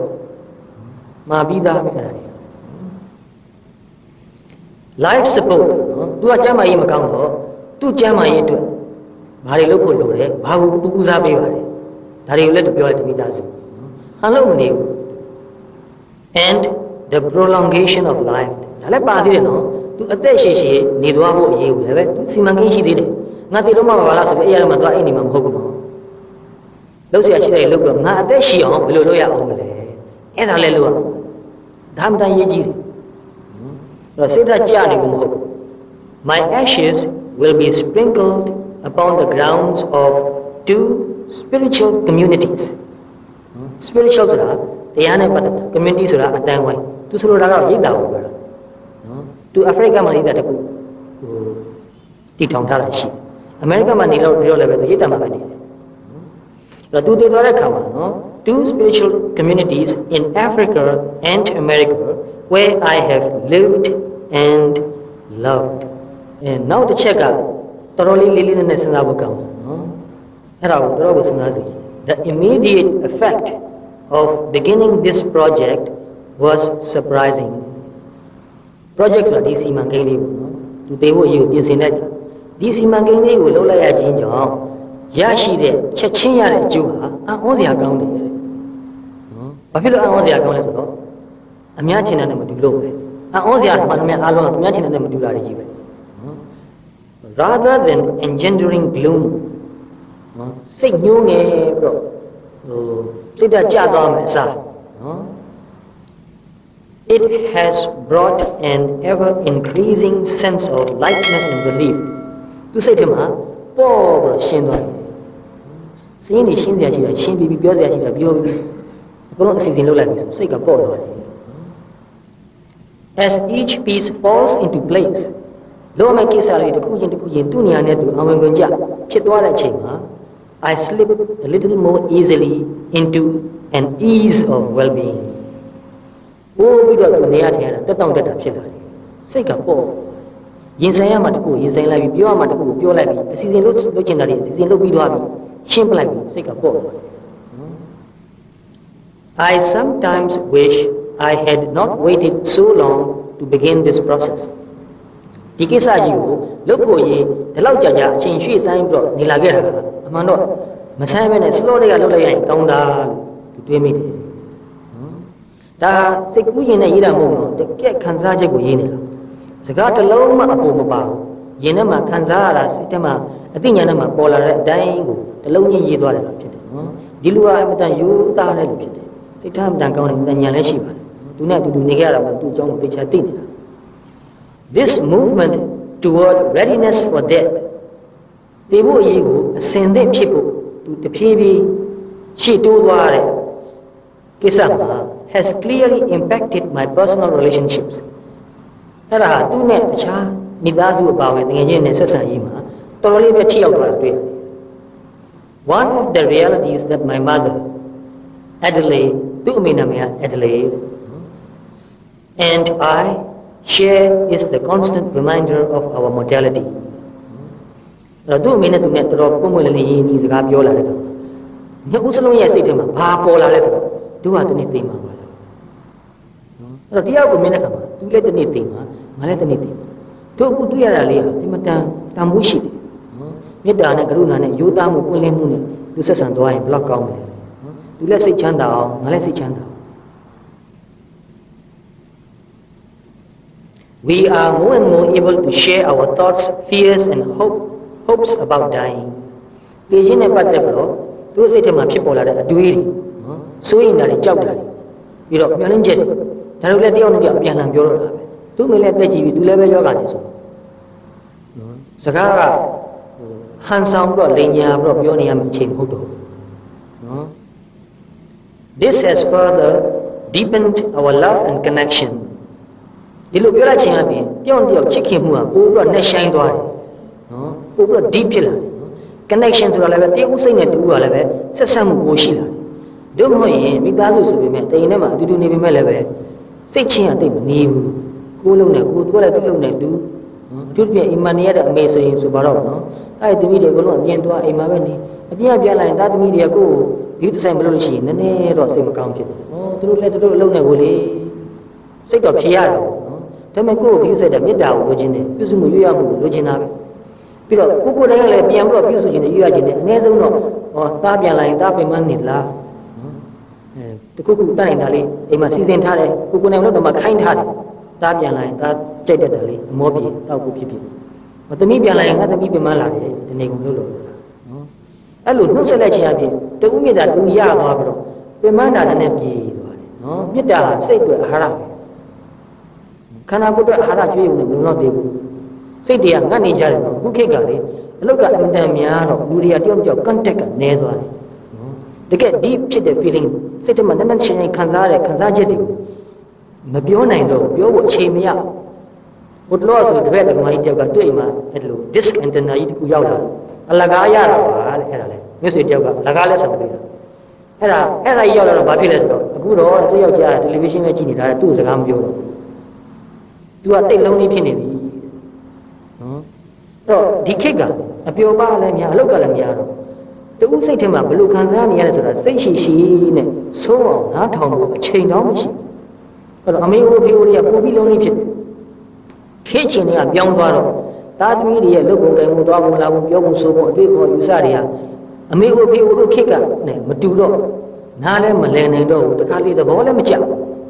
ပေမဲ့ပြောမယ်ဆိုရင်လည်းပဲသားသမီးတွေကပြောမယ်ဆိုတော့အမေမသိပါဘူးအမေဘာသိလို့လဲ အဲ့တော့အမေကြီးကအေးငါမသိဘူးနော်ငါမပြောပိုင်ခွင့်တော့မရှိတော့ငါပြောရင်သူတို့နားမထောင်တော့နော်အဲမိတွေနဲ့ပတ်သက်တော့လည်းဒီလိုပဲဖြစ်တတ်တယ်နော်ဒကမကြီးတယောက်ဆိုအဲ့လိုပဲပြောတယ်သူမိတွေကတဲ့သူပြောရင်ပြောမခံဘူးမပြောနဲ့ဝင်မဆွဲနဲ့လို့အဲ့လိုပြောလို့ရှိတယ်အဲ့တော့သူ့မှာသူမိတွေတော့ပြောပိုင်ခွင့်မရှိတော့ပါဘူးနော်ရှင်းတော့ကဗမာယဉ်ကျေးမှုဆိုတာသာသမီတွေရဲ့ဘဝမှာမိဘတေးတီထိနော်အကြံဉာဏ်ပေးတယ် guidance ပေးတယ် မိရရဲ့ဘဝမှာလည်းလိုပဲဘယ်လိုဖြစ်တယ်လဲဘယ်လိုတက်နေဘယ်လိုနေပါဘယ်လိုထိုင်ပါဘယ်လိုစားပါဘယ်လိုသွားပါအကြံဉာဏ်ပေးတယ်လမ်းကြောင်းပေးတယ်တွင်တင်တယ်ဆုံးမတယ်အခုခေတ်မှာကျတော့အဲ့ဒါတွေကနေသွားနေပြီနော်ယဉ်ကျေးမှုကတဖြည်းဖြည်းဆွေးရုပ်သွားနေတယ်လူသုံးကုန်ပစ္စည်းသာတိုးတက်လာတာယဉ်ကျေးမှုကဆွေးရုပ်သွားနေတယ်အဲ့တော့တတိထားကြည့်ဖို့ရအမေဦးအဖေဦးတော်တော်များများလုံးလေးဖြစ်တယ်နော်ဒီဒကမာကြီးတော့ဘယ်လိုနေလဲဆိုတာအတိအကျမသိပါဘူးမသိဘူးမဲ့သိတဲ့ဒကမာကြီးတွေကတော့တော်တော်ကိုလုံးလေးဖြစ်တယ်ဘာမှမပြောကျင်တော့ဘူးပြောလို့လည်းမရတော့ပါဘူး အဲ့လိုသူစိတ်တွေခံစားရတယ်အဲ့တော့ဒါကိုသားတွေသမီးတွေမိတွေကနည်းနည်းသိဖို့လိုတယ်နော်ကိုအမေကိုဖေကိုဖိုးဖွားတွေကိုဂရုစိုက်ပါသူတို့နဲ့တွေ့နေရတဲ့အချိန်လေးတွေကအင်မတန်တန်ဖိုးရှိပါတယ်နော်သူတို့ရဲ့မေတ္တာအင်မတန်ကြီးမားပါတယ်ဒီနေ့သူတို့ရှိမှမဟုတ်တော့အဲ့ဒီချိန်ကျမှတန်တာမရှိတော့ပါလားငါ့ကိုအင်မတန်ချစ်တဲ့သူကြီးမရှိတော့ပါလားငါ့ဘုံမှာအင်မတန်မေတ္တာကရုဏာကြီးတဲ့သူကြီးကမရှိတော့ပါလားဝန်ပန်းတဲ့ဖြစ်ရလိုက်မယ်နော်အဲ့တော့ဒီလူကလည်းပဲ သူ့အမေကိုသူပုံပွင့်လေးလေးရင်းရင်းနှီးနှီးပြောတော့တာနော်သူ့စိတ်ထဲမှာဆိုရင်ဒါတွေအားငယ်တာတွေကြောက်တာတွေချစ်တာတွေအကုန်လုံးပြောတာပေါ့တော့ငငယ်တော့ကတော့ချစ်ခင်ယူရတာတဲ့ထုံးစံပေါ့နော်ငငယ်ရွယ်10နှစ်15နှစ်ရွယ်ထိအောင်ငငယ်နဲ့မပိုက်ပြီးတော့နော်နားလိုက်ပွေးလိုက်တယ်နည်းနည်းကြီးသွားတဲ့ခါကျတော့ရှက်လိုလိုပါလိုလိုဖြစ်ပြီးတော့တဖြည်းဖြည်းနဲ့ချစ်တယ်ဆိုတာကိုပြနိုင်တယ်နော်ပြီးချိန်မှလည်းနဲ့อืมသူတို့ကကြက်ရလားမသိပါဘူးနော်အဲ့လိုတွေဖြစ်နေတာ တော့ပေးမဲ့သူကလည်းမပေးနိုင်လူချင်းတဲ့သူကလည်းပြောမှခက်လို့ရှက်လို့မရတော့နှုတ်နှစ်ဘက်စလုံးကမေတ္တာငတ်သွားတယ်တော့ဒီခေတ်ကမေတ္တာငတ်တဲ့ခေတ်ဖြစ်နေတယ်တခြားပစ္စည်းတွေအသုံးဆောင်တွေစားစရာတွေတော့အင်မတန်ပေါ့ဒါပေမဲ့မေတ္တာတော့ငတ်တယ်နော်အဲ့တော့ကြီးကြီးငယ်ငယ်ဘယ်သူဖြစ်ဖြစ်ကြီးတဲ့လူလည်းပဲဒီနေ့ဒီမှာပဲဘယ်နေ့ဆိုတာမသိဘူးငယ်တဲ့လူလည်းပဲဒီနေ့ဒီမှာပဲဘယ်နေ့ဆိုတာမသိဘူးမသေးခင်လေးမှာတကယ်ကိုလိုက်လိုက်လဲလဲရိုးရိုးသားသားလေး တူမေတ္တာတူအပြည့်ဝပေးနိုင်ဖို့အရေးကြီးတယ် These days uh do not not sentence တခုကျန်တော့ what a blessing နော်အဲ့ဒါအင်တန်ကြီးမားတဲ့မင်္ဂလာကြီးပါအမေနဲ့ရင်းရင်းနှီးနှီးလဲလဲလဲလဲပြောခွင့်ဆိုခွင့်ရတာအင်တန်ကြီးမားတဲ့ blessing ကြီးမင်္ဂလာကြီးပါနော်သူအင်တန်စိတ်ကျင်တဲ့အားရတဲ့ကိစ္စကြီးဖြစ်နေတယ် These days I feel better able to clearly discern what is authentic and honest အခုရက်ပိုင်းတွေမှာသူစိတ်တွေမှာဘယ်ဟာကအတုအစစ်ခွဲလို့ရတယ်ဘယ်ဟာရိုးသားတယ်မရိုးသားဘူးဆိုတော့ခွဲလို့ရတယ်နော် authentic ဆိုတာအစစ်မှန်ကိုပြောတာ honest ဆိုတာရိုးသားတာဖြောက်မှတ်တာကိုပြောတာသူ့ကိုဟန်လို့တော့ဆက်ဆံနေသူသိတယ်ဒါဟန်လို့တာပဲနော်သူ့ကိုတကယ်ရိုးရိုးသားသားလဲလဲဆက်ဆံရင်အဲ့ဒါလည်းသူသိတယ်ဒါငါ့ကိုရိုးရိုးသားသားလဲလဲလဲလဲဆက်ဆံတာအဲ့တော့ These days, I feel better able to clearly discern what is authentic and honest for me in relationships to people in my life. သူ့ဘဝထဲမှာရှိနေတဲ့လူတွေနဲ့ဆက်ဆံရေးတွေမှာဘယ်ဟာအစ်ဘယ်ဟာဘယ်သူဟာဟန်လုပ်နေတာဘယ်ဘယ်သူဟာတကယ်ရိုးသားတယ်လိုက်လဲဆိုသူသိတယ်။တမားအဖြစ်လူတွေအဲ့ဒါကိုသိတယ်။ကိုယ်ကလည်းသူ့ကိုဟန်လုပ်ပြီးဆက်ဆံတယ်သူကလည်းကိုယ်ကိုဟန်လုပ်ပြီးဆက်ဆံတယ်။အဲ့ဒါလောက်နဲ့ပဲသူကသူတို့ဟုတ်လာပြီးထင်းတယ်။အပေါ်ယံလေးဖြစ်တယ်နော်။တရုပ်ဆောင်တဲ့လူတွေဖြစ်တယ်ရုပ်ရှင်ရုပ်ရှင်ဇလန်တစ်ခုကိုတရုပ်ဆောင်နေတယ်လို့ပဲ ဇတ်ဆောင်နေဖြစ်နေတယ် I value and nurture friendships with a wholeheartedness largely free of the fears that kept me separate and divided for so long အခုအချိန်ထိအောင်နှစ်ပေါင်းများစွာနော် ဟန်လို့ပြီးတော့တယောက်တယောက်ဆက်ဆံလာတဲ့အတွက်ကြောင့်ကင်းကွာတယ်စိတ်ချင်းမနှိစက်ဘူးလူချင်းသာနှီးပြီမဲ့စိတ်ချင်းမနှီးဘူးနော်အဲ့ဒါတွေကိုနော်အခုချိန်မှာမရှိတော့အခုချိန်မှာမရှိတော့ whole heartedness တကယ့်ကိုရင်ထဲနှလုံးထဲကနေအပြည့်အဝရိုးသားတဲ့စိတ်နဲ့လှိုက်လိုက်တဲ့စိတ်နဲ့ဆက်ဆံရတာကို तू အင်တန်တန်မိုးထားတယ် I value and nurture value ဆိုတာတန်မိုးထားတယ် nurture ဆိုတာကဒါလေးကို तू ကပြုစုရွရတယ်သူ့ကိုအစစ်အမှန်ပေးတဲ့မြတ်တာကို तू တိတ်တန်မိုးထားတယ်အဲ့တော့တာမန်အဖြစ်လူတွေကတယောက်တည်းဆက်ဆံတဲ့အခါမှာဂုံပကာသနာအဆင့်တန်းဒါကိုကြည့်တာမောင်နှမအချင်းချင်းတော့အဲ့လိုဖြစ်တယ်မိဘနဲ့သားသမီးတော့တချို့အဲ့လိုဖြစ်တာတွေ့ရတယ်အားလုံးတော့မဆိုးလို့ဘူး အဲ့တော့ဒီလိုတည်ခြင်းတရားကိုသိထားတဲ့လူဖို့ပါဒီဟန်လောက်တာတွေကလည်းကားပဲနော် no posturing တော်ပြီဟန်လောက်တာတွေထားလိုက်တော့အချိန်မဟုတ်တော့ဘူးဒီချိန်အတွက်ဒီအတွက်အချိန်မရှိတော့အဲ့တော့တကယ်စစ်မှန်တဲ့မေတ္တာဆိုရင်ဘယ်သူစီကရရတန်ဖိုးထားတယ်တာမန်အဖြစ်ဆိုရင်ဂုဏ်သိက္ခာမရှိတဲ့အစင်တမ်းမရှိလူပြောကကိုယ်ချစ်ပါတယ်ခင်ပါတယ်ဆိုအလကား brush off तू ကငါ့ကိုခင်တယ်ဆိုတာငါမလုပ်မှာဒါပေမဲ့တရားကိုသိလာတဲ့အခါမှာစိတ်ထားနုညံ့လာတဲ့အခါမှာ လူမပြောနဲ့တိရစ္ဆာန်ကချစ်တာကိုသိတယ်မဟုတ်တာကိုယ်အိမ်ကမူထားတဲ့ခွေးတွေမဟုတ်ဘူးနော်သူလမ်းပေါ်မှာသွားလို့ခွေးလေးတကောင်ကကိုယ်ဟိုခင်မင်းနဲ့ငွေရပြလိုက်တယ်အဲ့ဒါတော့မဟုတ်တာကိုယ်မိသားစုမပြောနဲ့မိတ်ဆွေမပြောနဲ့လမ်းမှာသွားရင်လည်းကိုယ်လိုပြောက်ကလမ်းလေးနည်းနည်းလေးဘေးဖယ်ပြလိုက်တယ်ဆိုရင်စိတ်တရားကျေးဇူးတင်လိုက်တာနော်ငါသွားတဲ့လမ်းလေးသူနည်းနည်းလေးဘေးဖယ်ပြလိုက်တယ်တော့လို့လွယ်သွားအဲ့လိုဖြစ်လာနော်ဘု து ကိုဖြစ်ဖြစ်တန်ဖိုးထားတယ်စိမ့်စိမ့်ကြက်ကြက်အရင်မကြည့်ဘူး More than ever before, friendships are one of the greatest happiness of my life. ခင်မင်မှုမိတ်ဆွေဆိုတာဟာသူ့ဘဝမှာအကြီးမားဆုံးပျော်ရွှင်စရာကြီးဖြစ်တယ်စိတ်ချမ်းသာမှုပေးတဲ့အရာကြီးဖြစ်တယ်အရင်ကထက်မိတ်ဆွေကိုတန်ဖိုးထားတာဒါမိတ်ဆွေအစ်စ်မိတ်ဆွေအမှန်ကိုပြောတာနော်ကလျာဏမိတ်တမိတ်ဆွေကောင်းကိုအင်မတန်တန်ဖိုးထားလာတယ်ဒီလိုသဘောမျိုးဟာသူတယောက်တည်းတည်းမဟုတ်ဘူးတခြားလူတွေလည်းကြုံရတာကိုပြောပြလို့သိရတာရှိတယ် ဒီပုံမကိုယ်လည်းလိုပဲကိုယ်အင်တာနေမကောင်းလို့ငါတင်များတင်မလားလို့သိတဲ့အချိန်လူတွေကိုပို့ခင်တယ်မြတ်တာပို့ကြီးမားလာတယ်အဲ့ဒါလိုလူတွေကိုပို့ပြီးတော့ခင်တဲ့စိတ်ဖြစ်တယ်နော်ဖြစ်ပေမဲ့လည်းပဲ yet yet ဆိုတာ but ဆိုတာဒီကောင်ဒီလိုပဲနော် yet letting go of friendships feels easier to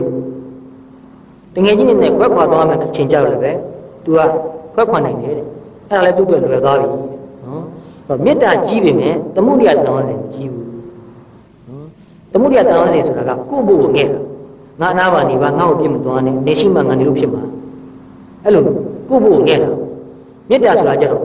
နင့်ဘဝနေအစဉ်ပြောင်းနေပါငါငါလည်းအစဉ်ပြောင်းကြိုးစားပြီးသွားမယ်နော်ငါအတွက်နဲ့ပဲနင့်ဘဝမှာဖြစ်တင်ဖြစ်တတ်တဲ့တုတ္တရတုတ္တကြောင့်ထိခိုက်မဖြစ်စေချင်ဘူးထိခိုက်တော့တာမျိုးဖြစ်စေချင်ဘူးလွတ်ပေးလိုက်တယ်နော် အခုခေတ်လည်းပဲဗမာပြည်မှာ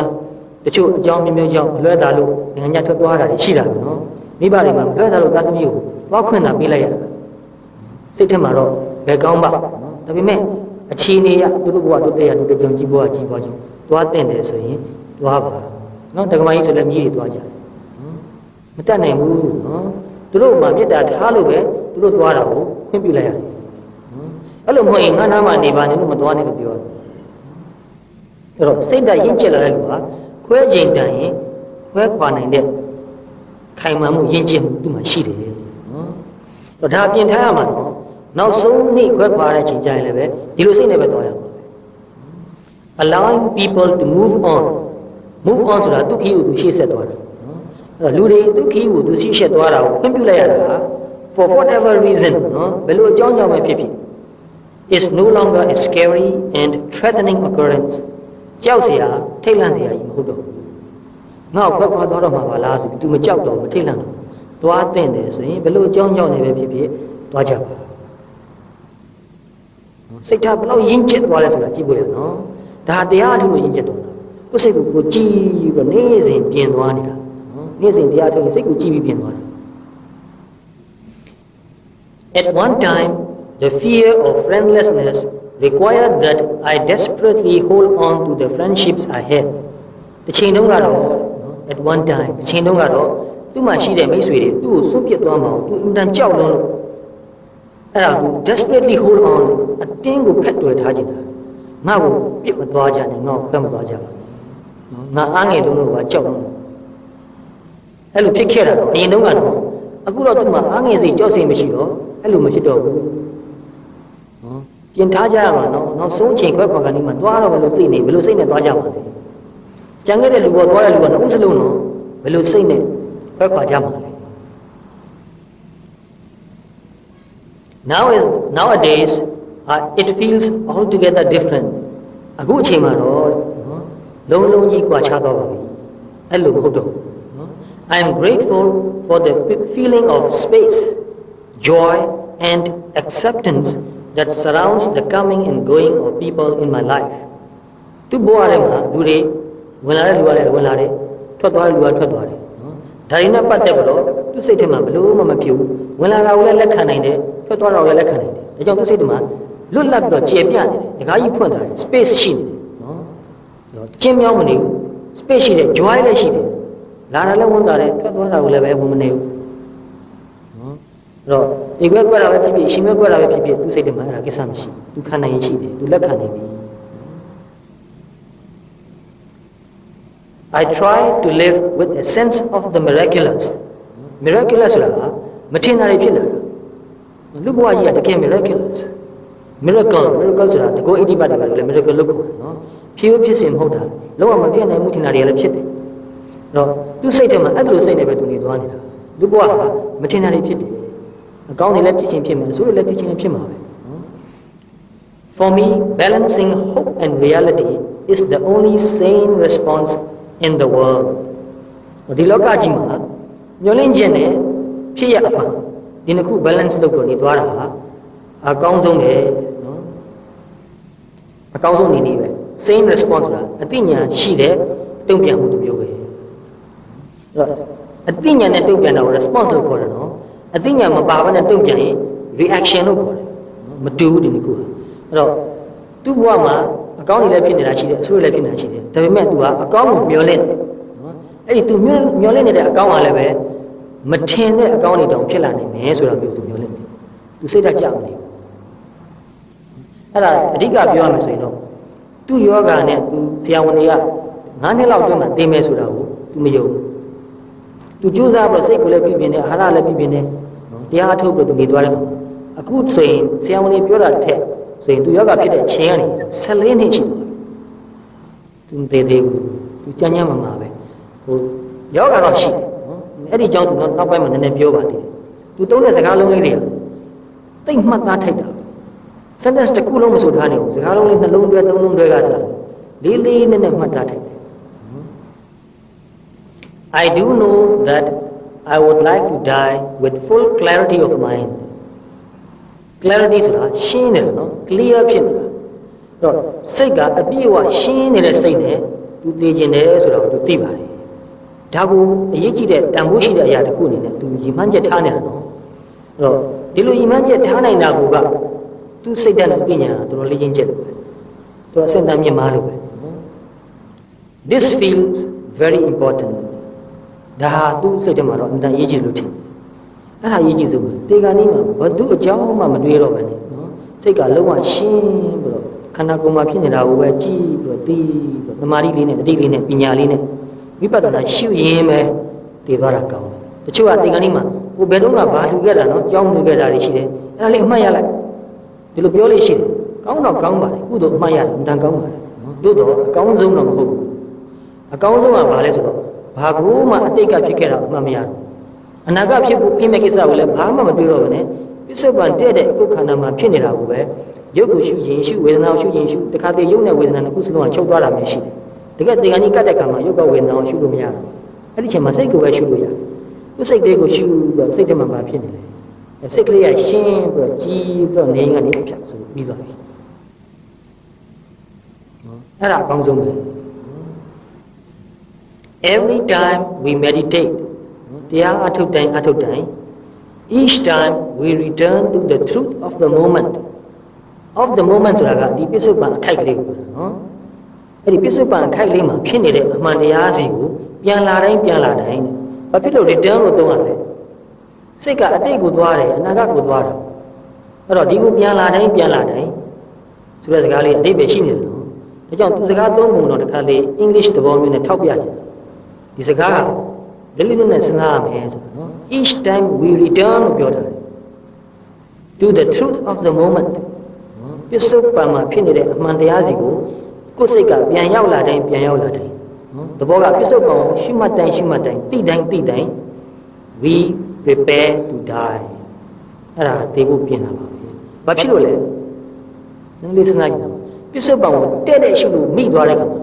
ကိုရှိမှတ်လိုက်တဲ့အာယုံသဘောတဘာဝဘာဖြစ်သွားလဲပြက်သွားသိတဲ့အချိန်မှာကိုပြက်သွားတာပဲမြင်လိုက်တာပဲနော်မရှိတော့ဘူးအဲ့တော့အဲ့ဒါလေးကခဏနေပါအောင်ဆိုလို့ရပါလားမရဘူးနော်နောက်တစ်ခုအသိရောက်လာပြီ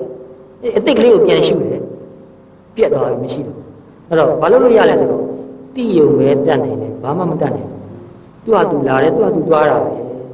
အနတ္တတရားပဲသဘာဝတရားပဲအနိစ္စတရားပဲနော် လာတာကိုလည်းပဲဝန်တာနေဖို့မလိုတော့ဘူးသွားတာကိုလည်းဝန်နေနေဖို့မလိုတော့ဘူးဥပိ္ပခာစိတ်လေးနဲ့တတိယဉာဏ်လေးနဲ့ကြည်ပြီးတော့နေလိုက်တယ်အဲ့ဒါဟာသင်္ကန်းဒီမှာဒီစိတ်နဲ့သိမယ်လို့ပြောတယ်တူတူပဲဒီလိုစိတ်နဲ့သိဖို့ရပြင်းနေတာပဲအဲ့တော့တရားရှိမှတိုင်ရှိမှတိုင်ဒါတော့ letting go လွတ်လိုက်တယ်ဆုတ်ထားတာမဟုတ်ဘူးနော်ဒါကြောင့်တရားထုတ်တဲ့ကမှာပီတိတွေပတ္တတိတွေဖြစ်လာတဲ့ကမှာအမလေးဒါလေးကကောင်းလိုက်တာလွတ်မသွားမဖမ်းထားမယ်လို့စိတ်မကူးနဲ့လွတ်မသွားအောင်ဖမ်းမယ်ဆိုတော့လည်းလည်းသူကပြတ်သွားပြီမ ရှိတော့ဘာကူမှဖမ်းမထားပါနဲ့ဘာကူမှဆုတ်မထားပါနဲ့ဘာကူမှသိမထားပါနဲ့သူကသူဖြစ်เสียရှိလို့ဖြစ်လာတယ်ဖြစ်ပါစေပြက်เสียရှိလို့ပြက်သွားတယ်ပြက်ပါစေသိနေတယ်မြင်နေတယ်သဘောပေါက်တယ်နားလေတယ်တော်ပြီနော် at the moment of death တည်တဲ့အချိန်မှာ I would like to be with friends who both accept and are at peace with my death တေခါနေ့ချိန်မှာသူ့အနားမှာမိတ်ဆွေတွေတော့ရှိစေခြင်းတယ်နော်ဒါပေမဲ့အဲ့ဒီမိတ်ဆွေတွေကဘယ်လိုမိတ်ဆွေလဲဖြစ်ရမလဲဆိုရင်သူတေတာကိုလက်ခံနိုင်တဲ့မိတ်ဆွေနော် who both accept လက်ခံနိုင်တဲ့မိတ်ဆွေ and at peace သူတို့စိတ်ကလည်းပဲငြိမ်းချမ်းတယ်ဟောငါတို့မိတ်ဆွေငါတို့အင်တန်ချစ်တဲ့ခင်တဲ့သူတေတော့မှာဘာလားဆိုတော့ရောက်ရက်ခတ်နေတာမျိုးသူမလို့ချင်းမသေးပါနဲ့အောင်လို့ကြပါအောင်မလို့ချင်းသူတေတော့မယ်ကိစ္စမရှိအဲ့ဒါလက်ခံနေတယ် အနာမိတ်ဆွေတွေကလည်းပဲစိတ်နှလုံးအေးချမ်းနေတဲ့မိတ်ဆွေအဲ့ဒီလိုမိတ်ဆွေတွေပဲအနာမှာရှိစေခြင်းတယ်ပူလောင်တော့ပြာရခတ်နေတဲ့မိတ်ဆွေတွေအနာမှာမရှိစေခြင်းမကောင်းအဲ့လူတွေကစိတ်ကိုရောက်ရက်ခတ်အောင်လုပ်တတ်တယ်နော်ငိုကြမယ်နော်အမလေးလုပ်ကြပါဦးအဖေရဲ့အမေရဲ့လုပ်ကြတယ်မကောင်းဘူး I'd like someone to remind me to let go as I go through the process of dying တည်ခြင်းတရားကိုဖြတ်သွားတဲ့အချိန်မှာ သူ့ကိုလွတ်လိုက်ပါလို့တတိပေးမဲ့သူပဲလို့ခြင်းတယ်နော် let go let go don't hold on to anything ဘယ်ဟာကမှတွေ့မထားပါနဲ့လွတ်လိုက်ပါ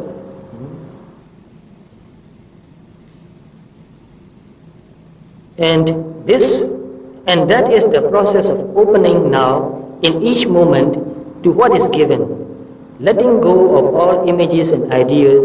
that prevent full acceptance of what is true. အမှန်တရားနဲ့ပတ်သက်ပြီးတော့အပြည့်အဝလက်ခံနိုင်ဘူး။သူနေတဲ့တရားထုတ်တာအဲ့ဒါသူ့ရဲ့ opening ဆိုတာဒီနေ့တခြားသူပန်းပွင့်လေးပွင့်ပွင့်လာနေတာနော်။သူတိုးတက်လာနေတာရင့်ကျက်လာနေတာပွင့်ဖူးလာနေတာ။ဒါသူ့တဲ့ဝန်သားစရာမကောင်းဘူး။ living a life that is authentic, true and real and dying in the same way နေတစ်ခိုက်မှလည်းပဲရိုးရိုးသားသား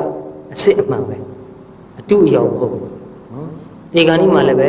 ရိုးရိုးသားသားနဲ့အစစ်အမှန်တိုင်းပဲတူတည်သွားခြင်းဟာလောက်တာလည်းမရှိစေခြင်းပြီးတော့နေမကောင်းတဲ့လူဆိုတော့သူစေးတောက်တယ်အဲစေးတောက်တယ်နဲ့ပတ်သက်ပြီးရေးထားတာလေးကလည်းပဲအင်မတန်နဲ့နေတယ် I will never again take medication without conscious appreciation conscious ဆိုတာသိနေတာ appreciation ဆိုတာတန်ဖိုးထားတာ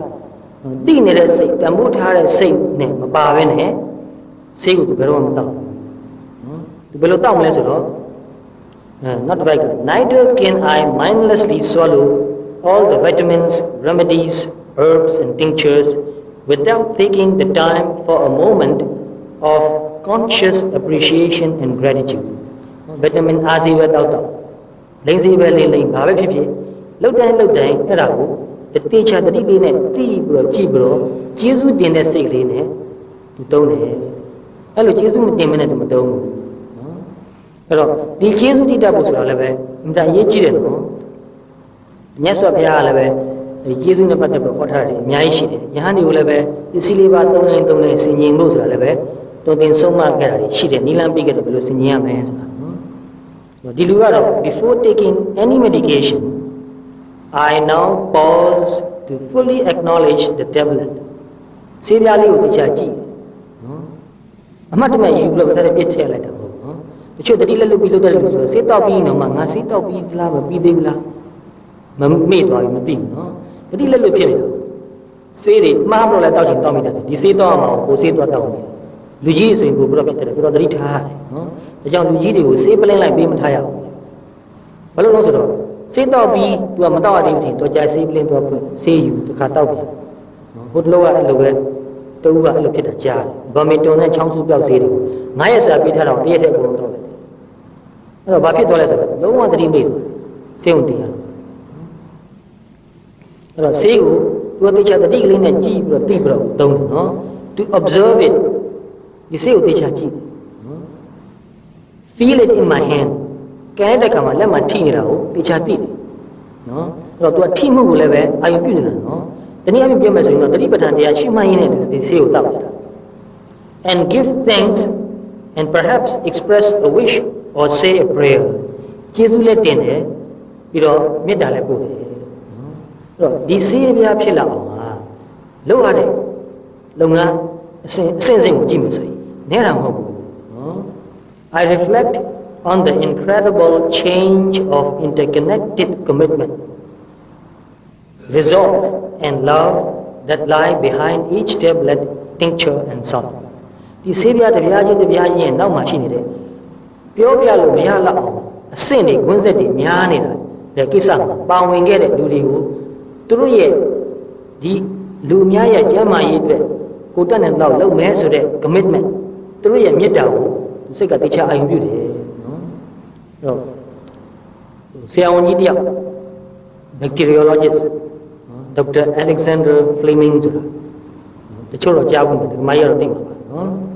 သူက penicillin ကိုပထမဆုံးတွေ့ခဲ့တဲ့သူပဲ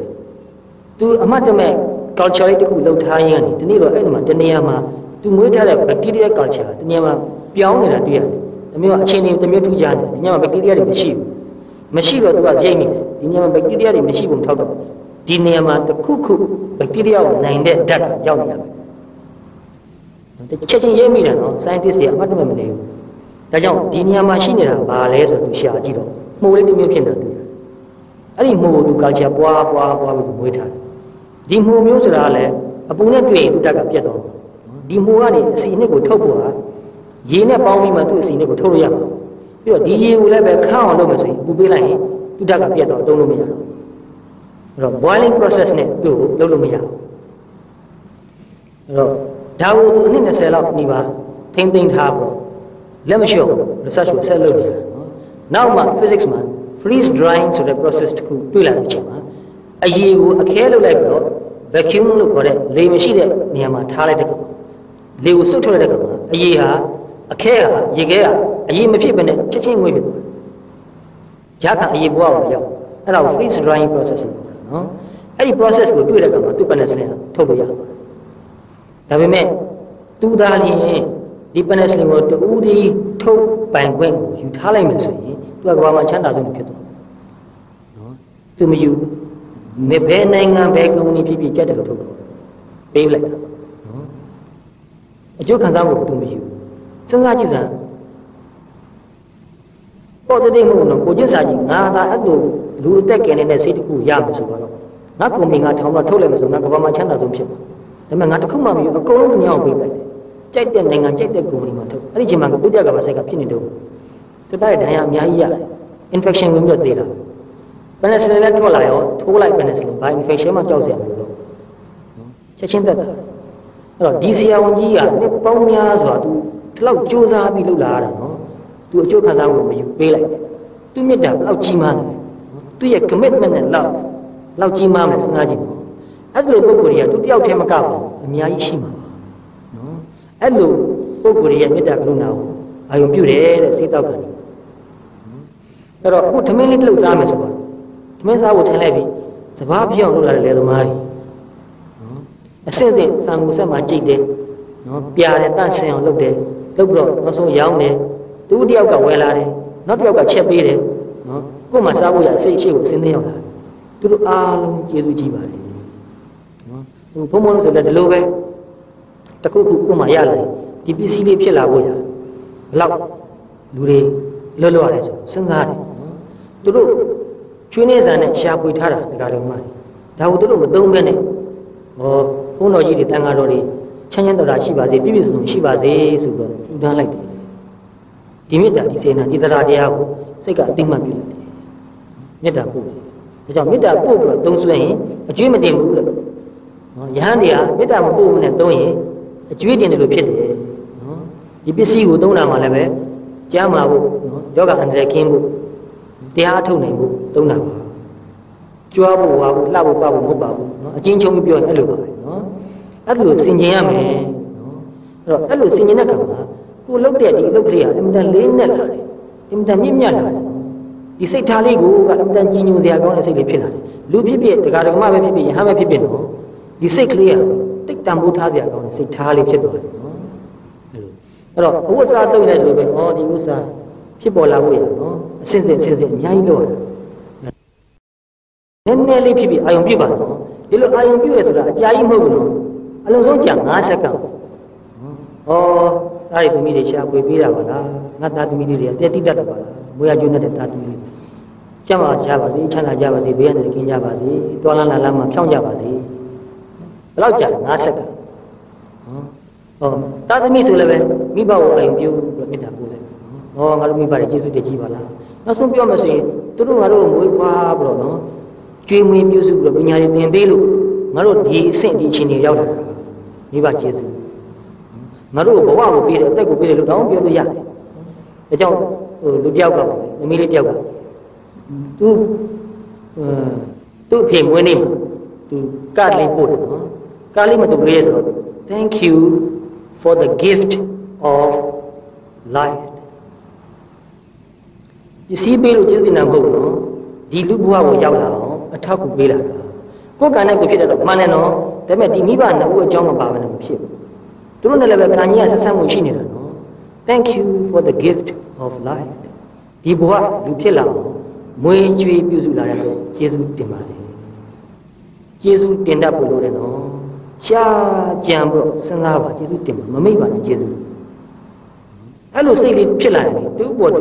တိတ်နူးညံ့သွားတာပဲမြင်လိုက်ရရင်စိတ်ထဲမှာနှွေးသွားတာလူငယ်တယောက်တယောက်မြင်လို့ရှိရင်စိတ်ထဲမှာအေးဆက်ဆက်ရေခဲတုံးကြီးနှလုံးသားနေရာမှာရေခဲတုံးကြီးရောက်တယ်မနှွေးထွေးအဲ့လိုကျေးဇူးတွေအာရုံပြုလို့ရှိရင်သိနှွေးထွေးတာမကျင်တတ်စရာရှိတော့မှပျောက်သွားတာပဲဒီမကျင်တတ်စရာဘာမှအရေးမကြီးအသိမှဒီမေတ္တာကရုဏာကျေးဇူးတွေက အမှန်တန်ကြီးမားပါတယ်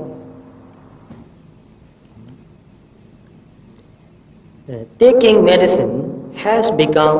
a sacred ritual in my life သူ့ရဲ့ဘဝမှာဒီစီးလေးတစ်လုံးတောက်တာမြင့်မြတ်တဲ့ဘာသာရေးကျင့်စဉ်တစ်ခုဖြစ်သွားတယ်နော် sacred ritual ဆိုတာမြင့်မြတ်တဲ့ဘာသာရေးကျင့်စဉ်နော်အဲ့တော့တတိလေးနဲ့ဉာဏ်လေးနဲ့ရှင်ပြီးတော့နော်ယောနိတော်မနတိကာရလည်းပါတယ်နော် တတိတံပစင်ညဆိုတဲ့ဝိပဿနာသဘောလေးလည်းပါသွားတယ်နော်ဒီလိုပါသွားတဲ့အချိန်မှာဘယ်လိုအမှုကိစ္စကိုပဲလုပ်လို့အဲ့ဒီအမှုကိစ္စကလေးနဲ့တည်းမြင့်မြတ်တဲ့ဘာသာရေးကျင့်စဉ်ဖြစ်သွားတယ်အရင်လည်းပြောဘူးလေတတိလေးနဲ့တီးပြီးခြေလမ်းလေးတစ်လှမ်းလှမ်းလိုက်အဲ့ဒီခြေလမ်းလေးတစ်လှမ်းလေးလှမ်းလိုက်တဲ့အလုပ်ဟာအင်မတန်လေးနဲ့တည်းမြင့်မြတ်တဲ့ဘာသာရေးကျင့်စဉ်ဖြစ်သွားပြီတတိမပါပဲလှမ်းသွားရင်တော့ဘာမှအတိတ်ပဲမရှိမောဟိုက်နဲ့သွားလို့ရှိရင်နော်အဲ့လိုပဲတမင်းလေးတစ်လုပ်စားတာကစား တတိလေးနဲ့ညာလေးနဲ့ရှင်းပြီးတော့ဆင်ခြင်ပြီးတော့စားလို့ရှိရင်သမင်းစားတာကလေးနဲ့တည်းမြင့်မြတ်တဲ့ဘာသာရေးကျင့်စဉ်တစ်ခုဖြစ်သွားတယ်တော့ဘယ်လိုအလုပ်ကိုပဲလုပ်လို့ဒီလိုသတိလေးညံလေးနဲ့ပါပြီးတော့လုပ်တတ်လို့ရှိရင်တနေ့တာလုံးမနေ့အေးရကနိုးလာတဲ့ချင်းအစားပေါ့နောက်ဆုံးညမှာအိပ်ပျော်သွားတဲ့ချိန်ထိလေးနဲ့တည်းမြင့်မြတ်တဲ့သဘောတွေနဲ့ကြီးပဲအဲ့လိုစိတ်ထားနဲ့ကြီးပဲနေသွားလို့ရတယ်တော်တော်တော့ကြိုးစားရမှာလွယ်တော့မလွယ်ဘူးသို့တော့တတိယတဲ့တတိယတိုင်း ခဏလေးစိတ်ကိုပြန်ပြီးတော့ကျွန်းလုပ်လိုက်ပါစိတ်ကိုပြန်ပြီးတော့ဆွဆွလိုက်တော့ကောင်းမွန်တဲ့စိတ်ထားလေးနဲ့လုပ်ပါတိတ်လို့အကျိုးနဲ့တာပဲနော် although there are limitations in my life now နော် limitation ဆိုတာကသူလုပ်ချင်တယ်လုပ်လို့မရဘူးတွားချင်တယ်တွားလို့မရဘူးစားချင်တယ်စားလို့မရဘူးအကန့်အသတ်တွေရှိဒီဒီခီးမတွားရဒီအလုပ်ကိုမလုပ်ရဒီအစားကိုမစားရအကန့်အသတ်တွေရှိတယ်နော်နေထိုင်မကောင်းဘူးအသက်ကြီးပြီဆိုတော့အဲ့ တော့အဲ့ဒါလို့တဲ့သူ့ဘဝမှာအကန့်အသတ်တွေနော်အတားအဆီးတွေရှိနေပေမဲ့လည်းပဲတဲ့နော် I feel deeply grateful for the blessings of relatively stable health and all the new possibilities that are present သူစိတ်ထဲမှာအမတန်ကျေးဇူးတင်တဲ့စိတ်ဖြစ်တယ်နော်ကျင့်တဲ့စိတ်ဖြစ်တယ်ဘာအတွက်ကြောင့်လဲဆိုတော့ relatively stable health နော် မကြမ်းပါပြီမဲ့လည်းပဲအထက်လျောက်တော့သူကတည်ငြိမ်မှုရှိနေတယ်ယောဂတိတ်ကြည့်မတူနော်ထိန်းထားလို့ရတယ်စေးတော့ပြီးနေသွားလို့ရတယ်နော်အနေထိုင်ပြုပြီးပြီးသွားလို့ရတယ်အဲ့ဒါကိုပဲသူကျေးဇူးတင်ပါတယ်အဲ့တော့တနေ့တစ်ခြားအသက်ကြီးလာရင်ခန္ဓာကိုယ်ဆိုတာဒီလိုပဲနော် limitation တွေအများကြီးရှိလာတယ်ငယ်တုန်းကတည့်ရတဲ့အစားအစာတွေကကြီးလာတဲ့အခါမတည့်ဘူးငယ်တုန်းကခီးဝေးသွားလို့ရတယ်အခုသွားလို့မရဘူးပို့ပြီးမဲ့လို့ရှိမှသွားလို့ရတယ်တော့အကန့်အသတ်တွေအများကြီးရှိလာပြီနော် ကိစ္စမရှိဘူးငါနေလို့ဖြစ်ပါတယ်ငါကြမ်းမရအသင့်အသင့်တော့ကောင်းသေးတယ်နော်တကယ်ပြောမယ်ဆိုရင်ကျမ်းမာ perfectly healthy ဆိုတာကမရှိဘူးနော်တမဟုတ်တော့မြတ်ကိုကိုကျမ်းမာတယ်ပြောနိုင်ရင်တဲ့အဲ့လိုပြောတဲ့လူကညံနေလို့ပါမုဟုတ်တံပိအာရောကြံပฏิဇာနာမှာနော်ကိမိညတရပါလေဟာဘုရားဟောတော်ပါနော်တမဟုတ်တော့ကိုကိုယောဂကင်းပါတယ်လို့ ပြောတဲ့လူကတဲ့ညံနေလို့လို့ပြောတာတကယ်တော့ခန္ဓာကိုယ်မှာယောဂကင်းတယ်ဆိုတာမရှိပါဘူးဘယ်သူဖြစ်ဖြစ်ပြောရမယ်ဆိုတော့ relatively stable health လောက်ပဲရှိပါတယ် perfectly healthy ဆိုတာတရားမှမရှိတခါတော့လူနာတယောက်ကဆရာဝန်ကြီးရောက်လာလူနာတော့မဟုတ်ပါဘူးဘယ်လိုကြောက်လဲမသိဘူးဆရာဝန်နဲ့တွေ့တော့သူကလည်းပြောဆိုတော့ဒေါက်တာ I'm perfectly healthy တဲ့အဲ့လိုပြောတော့ဒေါက်တာလို့ပြောလဲဆိုတော့သိလားအဲ့ဒါတိတ်ထူးဆန်းတာပဲဒီလိုမျိုးတစ်ခါမှမတွေ့ဘူးနော် ဘသူကိုဖြစ်ဖြစ်ကျမ်းမာရေးသေသေးချာတကူလုံးအနက်စစ်ကြည့်လိုက်ပါယောဂတစ်ခုမှတစ်ခုတွေ့လိုက်ဒုမဟုတ်ရင်ခုကကိုဖတ်လို့လွယ်တဲ့ symptoms and disease လို့လို့စာအုပ်မျိုးနော်ယောဂလက္ခဏာနဲ့ယောဂအဲဒီယောဂများဆိုတဲ့စာအုပ်မျိုးဖတ်ကြည့်ဖိုင်ဖိုင်နဲ့ကြောက်လာလိမ့်မယ်ငါမှဟိုယောဂလည်းရှိတယ်ဒီယောဂလည်းရှိတယ်ငါနှလုံးကလည်းခုန်တာသိမလို့တခါလေတွေးရတယ်ဆိုတော့အဲ့လိုကလည်းမပြောဘူးစက်ကြောတဲ့ခေါင်းကမူတယ်နှလုံးခုန်တာမမှန်ပတ်စီရများနေတယ်အဲဒုက္ခလည်းတွေးရကြနေတယ်အစာရင်ကဘယ်လိုဖြစ်တယ် ဖတ်ကြည့်ကြောက်သွားလိမ့်မယ်ဖတ်ပါများရင်စိတ်ယောဂတော့ဖြစ်သွားလိမ့်မယ်အဲ့တော့ဆိုလိုတာတခြားမဟုတ်ဘူးနော်ကို့မှာကျမ်းမာရေးနည်းနည်းကချို့တင်နေတဲ့ကောင်စိတ်တမကြပါနဲ့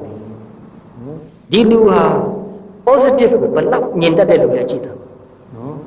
သူဟာလို့တော့သူ့ကိုယ်ကိုညာနေတာမဟုတ်ဘူးနော်သူတကယ်ရိုးရိုးသားသားအဲ့လိုပဲသိတယ်အဲ့လိုပဲခံစားတယ်အဲ့လိုပဲခံယူတယ်အဲ့လိုပဲသူကျင့်သုံးလို့နေသွားနေတာ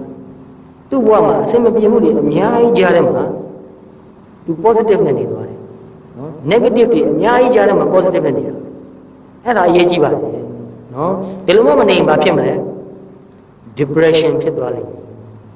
နော်စိတ်ညစ်ပြီးတော့စိတ်ဓာတ်ကျသွားတော့မှာအဲ့တော့စိတ်ကို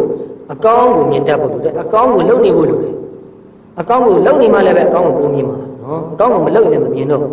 ဆိုတော့အမြဲတမ်းကောင်းတာကိုနှလုံးသွင်းသွားပါ လုပ်တင်တာလည်းအမြဲတမ်းလုပ်ပါတရားအထုတ်နေပါ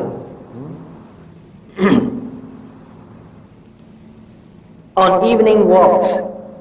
သူကညနေဘက်ကျရင်လမ်းလျှောက်တယ်နော် on evening walks in the hills around my mother's home သူ့အမေရဲ့အိမ်ပတ်ဝန်းကျင်မှာတောင်ကုန်းလေးရှိတယ်ညနေဘက်ကျရင်အိမ်တောင်ကုန်းလေးတွေမှာသူလမ်းလျှောက်တယ်လမ်းတစ်ပတ်လျှောက်အဲ့လိုလျှောက်တဲ့အခါမှာဘာဖြစ်လဲဆိုတော့ I drank the fragrances of flowers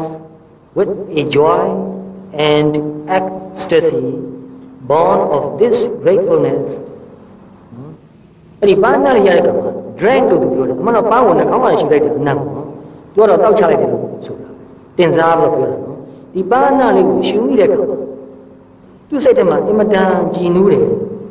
ကျင်납တယ်ဝန်တာတယ်ပြောနေတယ်ပြီးတော့ဓမ္မကတွေမှာကျေးဇူးတင်တဲ့စိတ်နဲ့လည်းပဲအဲ့လိုသူခံစားလိုက်တာတော်တော်ကိုအံ့ဩစရာကောင်းတဲ့စိတ်ဓာတ်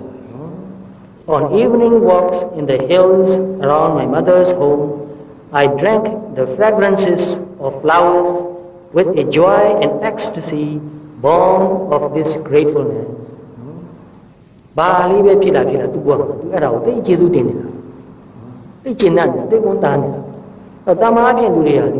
ကိုမရနိုင်တာတွေမဖြစ်တာတွေတွေးပြီးတော့ငါဘောကြီးကကန်ဆူလာကြီးလားကိုယ်လည်းငါမရောက်ဒီကလည်းငါမရဘူး ဟိုပန်းလေးအနံ့မွေးတာတတိတော်မရတယ်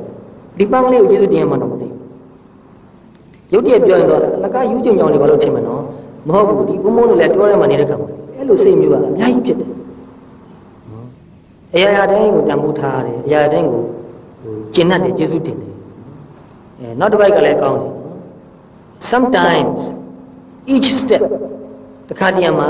ခြေလန်းတလားတလားလှမ်းတိုင်းလှမ်းတိုင်းခြေလှမ်းတိုင်းခြေလှမ်းတိုင်း each vista မြင်ကွင်းတိုင်းမြင်ကွင်းတိုင်း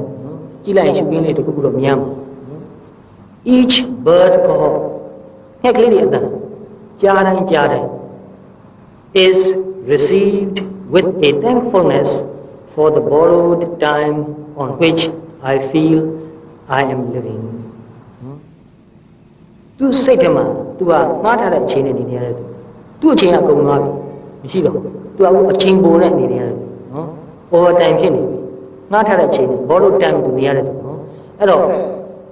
မြင်တိုင်းမြင်တိုင်းခြေလမ်းလေးလှမ်းရလှမ်းရတိုင်းလှမ်းတိုင်းလှမ်းတိုင်းငှက်တန်လေးတစ်ခုကြားရင်ကြားတိုင်းပဲသူဒီအချိန်ပိုလေးနဲ့အသက်ဆက်လက်ပြီးရှင်နေရတာလေးကိုပဲသူကသိကျေစုတင်တယ်သိဝန်းတာတယ်အဲ့တော့ကိုတနေ့တာတနေ့တာအသက်ရှင်ရတာကိုဝန်တာတဲ့စိတ်ဖြစ်ဖို့လို့တနေ့အရာကနူးလာပြီ။ဩငါတို့တနေ့တာငါမသေးသေးဘူး။ငါကောင်းတာတွေအများကြီးလုပ်နေသေးတယ်။အဲ့တော့ ဟိုအလုပ်ဆိုတာကပတ်စံရတဲ့အလုပ်ကမှအလုပ်လို့ခေါ်တာမဟုတ်ဘူးနော်။ကိုယ်အိယာတော့မှကိုယ်အိပြီးတော့ပဲဖြစ်ဖြစ်အသက်ရှူတာလေးကိုတီးပြီးတော့နေမယ်။သို့မဟုတ်ခန္ဓာကိုယ်မှာဖြစ်နေတဲ့တခြားတစ်ခုခုထိမှုဝေဒနာကိုသိပြီးတော့နေမယ်။တခါတည်းရန်စိတ်ထဲမှာပေါ်လာတဲ့အတွေ့အကြုံဖြစ်ဖြစ်သိပြီးတော့နေမယ်။အတန်တစ်ခုကိုကြားလိုက်ရင်လည်းအဲ့ဒီအတန်လေးကိုကြားတယ်လို့သိပြီးတော့နေမယ်။ဒီလောက်ကလေးသိပြီးတော့နေနိုင်နဲ့ကိုပဲတန်ဖိုးတန်ရှိပါတယ်တန်မြင့်မြတ်ပါတယ်အဲ့တော့ဘာမှလုပ်လို့မဖြစ်ဘူးဆိုတာကတော့မဟုတ်ဘူး အဲ့ဒါလို့အရာရာတိုင်းကိုတန်ဖိုးထားဖို့ကိုနေရတဲ့အချိန်လေးတွေကိုလည်းတန်ဖိုးထားဖို့နေသွားမယ်ဆိုရင်အဲ့လူရဲ့ဘဝဘယ်လောက်ထိအောင်လေးနေနေလဲနော်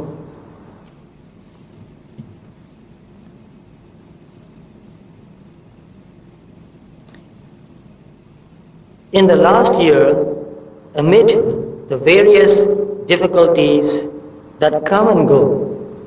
ပြီးခဲ့တဲ့နှစ်ကနော်အခုချိန်ထိပေါ့နော်ပြီးခဲ့တဲ့နှစ်တာအတွင်းမှာ ဒုက္ခတွေအခက်အခဲတွေအများကြီးလာလိုက်တွားလိုက်ပဲဖြစ်နေတယ်နော်တစ်ခုပြီးတစ်ခုတွေ့ရကြုံရတယ်နော်အဲ့တော့ in the last year amid the various difficulties that come and go a sense of childlike effervescence ကလေးလေးတယောက်တော့မြူးနေတာနော် childlike effervescence wonder and joy has slowly emerged into my life သူရဲ့ဘဝထဲမှာကလေးလေးတယောက်လိုပျော်တဲ့စိတ်ဖြစ်နေတယ်နော် ပျော်ရွှင်နေမြူးတယ်ကိုစိတ်တယ်အဲ့တော့အံ့ဩစရာမတန်ကောင်းတယ်နော်တရားထုတ်နေတဲ့လူကဘာတွေနဲ့ဘယ်လိုကြောက်ပျော်ပြီးမြူးနေလဲအဲ့ဒါပြောပြဖို့သူကြည့်ရလို့ပြောရလည်းမဟုတ်ကြားရလို့ပြောရလည်းမဟုတ်စားရလို့ပြောရလည်းမဟုတ်အလိုလိုနေကိုစိတ်ကပျော်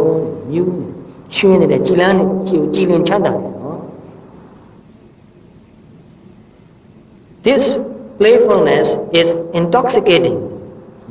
အဲ့လိုကလေးလေးတယောက်လိုမျိုးနေတာက intoxicating ဆိုတာကဟို ပြောရရင်တော့တိတ်ဥပမာတော့မကောင်းဘူးအရက်တို့ဘာလို့တောက်တဲ့လူတွေကအရက်မူးနေတာကို intoxicating လို့ခေါ်တာမူးနေတာပဲအခုကသူကပီတိနဲ့ကိုပဲပျော်ပြီးတော့မြူးပြီးတော့တခါတည်းကိုမူးနေတဲ့လူကိုဖြစ်နေတာသူသူပီတိကဘယ်လောက်တိအောင်အချိန်ပြင်းထန်လဲဆိုတာနော် It feels like the best medication available အဲ့ဒီသူ့ရဲ့ပီတိဟာအကောင်းဆုံးဆေးလို့ပဲသူခံစားရတယ် medication meditation မဟုတ်ဘူးနော် medication available အဲ့ဒါအမှန်ပဲတရားအထုတ်လို့နော်ပီတိပတ္တိဖြစ်နေတဲ့ကောင်မှာယောဂတော်တော်တက်တာတချို့ယောဂဆိုလုံးလုံးမပြောက်တယ်တချို့ယောဂဆိုရင်တော်တော်များများတက်တာတယ်တဝက်နီးပါးလောက်လေးပုံသုံးပုံလောက်ထိတက်တာသွားနေတယ်နော်တရားရဲ့ပီတိရဲ့တမာတိရဲ့တတ္တိနော် What is most remarkable is that these feelings are clearly not conditional upon the absence of physical pain and difficulty. အဲ့ဒီအချက်ကလည်းလေးလေးနဲ့တေချာနားရောဝင်သွားစေချင်တယ်ထူးခြားတာကဘာလဲဆိုတော့ remarkable ဆိုတာထူးထူးခြားခြားဖြစ်တာမှတ်သားစရာကောင်းတာအဲ့တော့ထူးထူးခြားခြားမှတ်သားစရာကောင်းတာဘာလဲဆိုတော့သူ့စိတ်ကဒီလိုပျော်ရွှင်ပြီးတော့မျိုးနေတာဟာသူ့ဘဝမှာသူ့ခန္ဓာကိုယ်မှာဒုက္ခတွေဝေဒနာတွေအခက်အခဲတွေမရှိလို့ဖြစ်နေတာမဟုတ်ဘူးရှိရတဲ့ကိုဖြစ်နေတာအဲ့ဒါစဉ်းစားစရာတော့ဘ လူတွေကထင်တာငါမှလောက်ကြီးဒုက္ခခံနေရတာငါဘယ်လိုလုပ်ပြောနိုင်ပါ့ပြောနည်းကိုသူတို့မသိလို့ပါနော်ရှိပါတယ်ဒါပေမဲ့ကြိုးကြိုးတင်းတင်းချင်းယူပြီးတော့လှုပ်ထားလိုက်ပါတနေ့အင်မတန်အကူရပါလိမ့်မယ်နော်တခြားဘာမှအကူပြရှိမှာမဟုတ်ဘူးနော်ဒီပြောနည်းကိုဒီလိုစိတ်ကြည်လင်အေးချမ်းနေတဲ့အဖြစ်မျိုးကိုရဖို့ကကြိုးတင်တော့ပြင်ဆင်ထားအဲ့လိုပြင်ဆင်ထားတဲ့လူကတနေ့မှသူလိုဒုက္ခကြီးရတဲ့ထောင်းနော် အဲ့ဒီဒုက္ခကြီးတွေကြားထဲမှာပဲပြည်တိနဲ့နေတော့လို့ရသေးတယ်အဟောဆရာအမှန်ကောင်းတယ်နော်ယုံနေစရာမရှိဘူးနော်ဘုဒ္ဓလောကအကြောင်းနေပဲငိမ့်ချူရောက်လာတယ်အဲ့တရားတရားကိုတော်တူးစားနေတဲ့အဲအကြောင်းနေပဲ၃လေးဦးလောက်ရှိတယ်သူတို့ပြောတယ်သူတို့လည်းအလုပ်တွေတာဝန်နဲ့အစိုးရရာထူးတွေနဲ့ပဲအခုခေတ်အမှုတန်းဘဝ pressure အတန်များတယ်ဒုက္ခအတန်များတယ်နော်ပြောရမယ်ဆိုကိုယ်နေစရာမရှိဘူးသူတို့ဒုက္ခတွေဒါပေမဲ့အဲ့ဒီအကြောင်းတွေပဲတကယ်ကြံဘယ်လိုပြောလဲဆို သူ့မှာစိတ်ဆင်းရဲစရာဘာမှမရှိဘူးကြားတာယုံနေစရာမရှိဘူးနော်ကြွားလို့ထင်မှန်တော့ဒါပေမဲ့သူ့ကိုသိနေတယ်သိနေတာကြားပြီးမကြမ်းကြတွေ့နေတယ်သူရဲ့နေမထဲမပြောမှုစကုသွားဝင်လာမှုသူနဲ့တခြားပတ်သက်တဲ့လူတွေကိုယ်တိုင်ကလည်းပြောတယ်သူဟာတတိတခြားပိုးပြီးတော့ကြည်လင်အေးချမ်းနေတယ်ဘာအကြောင်းနဲ့ပတ်သက်လို့မှသူမငြင်းညူဒုက္ခတွေအခက်အခဲတွေမရှိလို့လားဆိုတော့ဘယ်ဟုတ်လို့လဲဒုက္ခတွေအခက်အခဲဆိုတော့လူတိုင်းရှိတာ အဲ့ဒီကြားတဲ့ကပဲသူစိတ်ချမ်းသာနေပါနော်အဲ့တော့ဒီလူလက်လူဖြစ်နေနော် what is most remarkable is that these feelings are clearly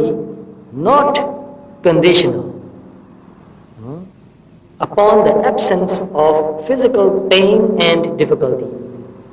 ခန္ဓာကိုယ်မှာခံစားနေရတဲ့ဒုက္ခဝေဒနာနဲ့တခြားလူမှုရေးစားရေးတောက်ရေးနဲ့ပတ်သက်တဲ့ဒုက္ခအခက်အခဲတွေမရှိမှဖြစ်မယ်ဆိုတဲ့ condition မဟုတ်ဘူး အဲ့ဒါတွေကြားထဲမှာကိုပဲသူချမ်းသာတယ်လူတိုင်းကိုပဲကြိုးတင်ပြင်ဆင်ပြီးတော့အဲ့ဒါလိုစိတ်ဓာတ်မျိုးအဲ့လိုအသိဉာဏ်မျိုးရစေချင်တယ်ဒီလိုမှရအောင်မလုပ်ရင်တော့တကယ်စိတ်ချမ်းသာဖို့ဆိုတာမဖြစ်နိုင်ဘူးတခုမို့တခုအစင်မပြေတာအများကြီးရှိနေတာနော် in the last year နော်ပြီးခဲ့တဲ့နှစ်တွင်မှာ renewed passion passion ဆိုတာပြင်းပြတဲ့ဆန္ဒနော် zeal zeal ဆိုတာတော့မြန်မာ နာတရားလို့ပြောရင်လည်းရနော် and interest စိတ်ဝင်စားမှု have flowered in the meditation practice နော်သူတရားထုတ်တဲ့နေရာမှာလည်းပဲပို့ပြီးတော့စိတ်ဆန္ဒပြင်းပြတယ်ပို့ပြီးတော့လုံလဝိရိယပြင်းပြလာတယ်နော်ပို့ပြီးတော့တရားတရားတွေကောင်းတယ်ပို့ပြီးစိတ်ဝင်စားလာတယ် uh, where this whole journey began no? through awareness တကယ်စစ်မှန်တဲ့တတိ နော်ဟိုတာမန်လောက်ခလုတ်မတက်မြအောင်ထားတဲ့တတိလောက်ကိုမဆိုးလုံးနော်ပစ္စုပန်မှာဖြစ်နေတဲ့ခန္ဓာ၅ပါးရုပ်ပိုင်းဖြစ်ဖြစ်ဝေဒနာဖြစ်ဖြစ်စိတ်ပဲဖြစ်ဖြစ်ဓမ္မသဘောတွေပဲဖြစ်ဖြစ်ဒါတွေကိုတစ်ခုခုကိုပစ္စုပန်တဲ့တဲ့သိနေတဲ့ true awareness and meditation have become the deepest and purest expression of love that I know အဲ့လိုတတိလေးနဲ့နေတာကဘူးပါတဲ့ တကယ်စစ်မှန်တဲ့မေတ္တာကိုဖော်ပြတာတူနေတယ်နော်အဲ့တော့ဒါရုပ်ပြည့်ဆိုအိဗယ်ပဲပေါ့အဲ့လိုတရားကိုလုံးသွင်းပြီးတော့အင်မတန်ကြည်လင်အေးချမ်းနေတဲ့သူဟာသူသူဘာကိုဒုက္ခရောက်ဘယ်တော့မှမလုပ်နော်ကိုယ်စိတ်ကချမ်းသာနေတော့သူများဘယ်လိုဖြစ်စေချင်လဲဆိုတော့သူတို့လည်းငါလိုပဲချမ်းသာပါစေဒီစိတ်ပဲဖြစ်တယ်နော်အဲ့တော့လောကမှာသူတစ်ပါးကိုဒုက္ခရောက်လုပ်တဲ့လူတွေကဘယ်သူလဲဆိုတော့ သူတို့ကိုယ်တိုင်စိတ်မချမ်းသာတယ်နော်ဒါကမိဘနဲ့တာသမီဖြစ်ခြင်းနဲ့ဖြစ်မယ်မောင်နှမချင်းဖြစ်ခြင်းနဲ့ဖြစ်မယ်လင်မယားချင်းနဲ့ဖြစ်ခြင်းနဲ့ဖြစ်မယ်တငယ်ချင်းချင်းဖြစ်ခြင်းနဲ့ဖြစ်မယ်နော်သူကိုယ်တိုင်စိတ်ဆင်းရဲနေတနည်းနည်းနဲ့သူမြောက်စိတ်ဆင်းရဲအောင်လုပ်မိတယ်နော်သူကိုယ်တိုင်စိတ်ချမ်းသာနေသူမြောက်စိတ်ချမ်းသာအောင်စိတ်ဆင်းရဲအောင်လုပ်သူစိတ်ချမ်းသာအောင်ပဲလုပ်တယ်နော်အဲ့တော့ကိုယ့်အကိုတကယ်တရားနှလုံးသွင်းပြီးစိတ်ချမ်းသာနေတဲ့လူပါလေအလိုလျောက်ပဲသူတစ်ပါးကိုစိတ်ချမ်းသာစေခြင်းတဲ့မေတ္တာ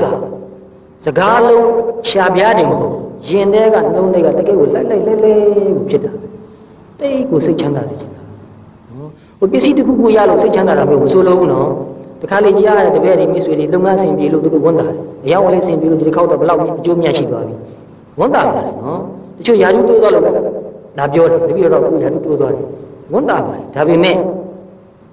ဒါတွေကဘလောက်ကြာကြာမြဲမှာလဲ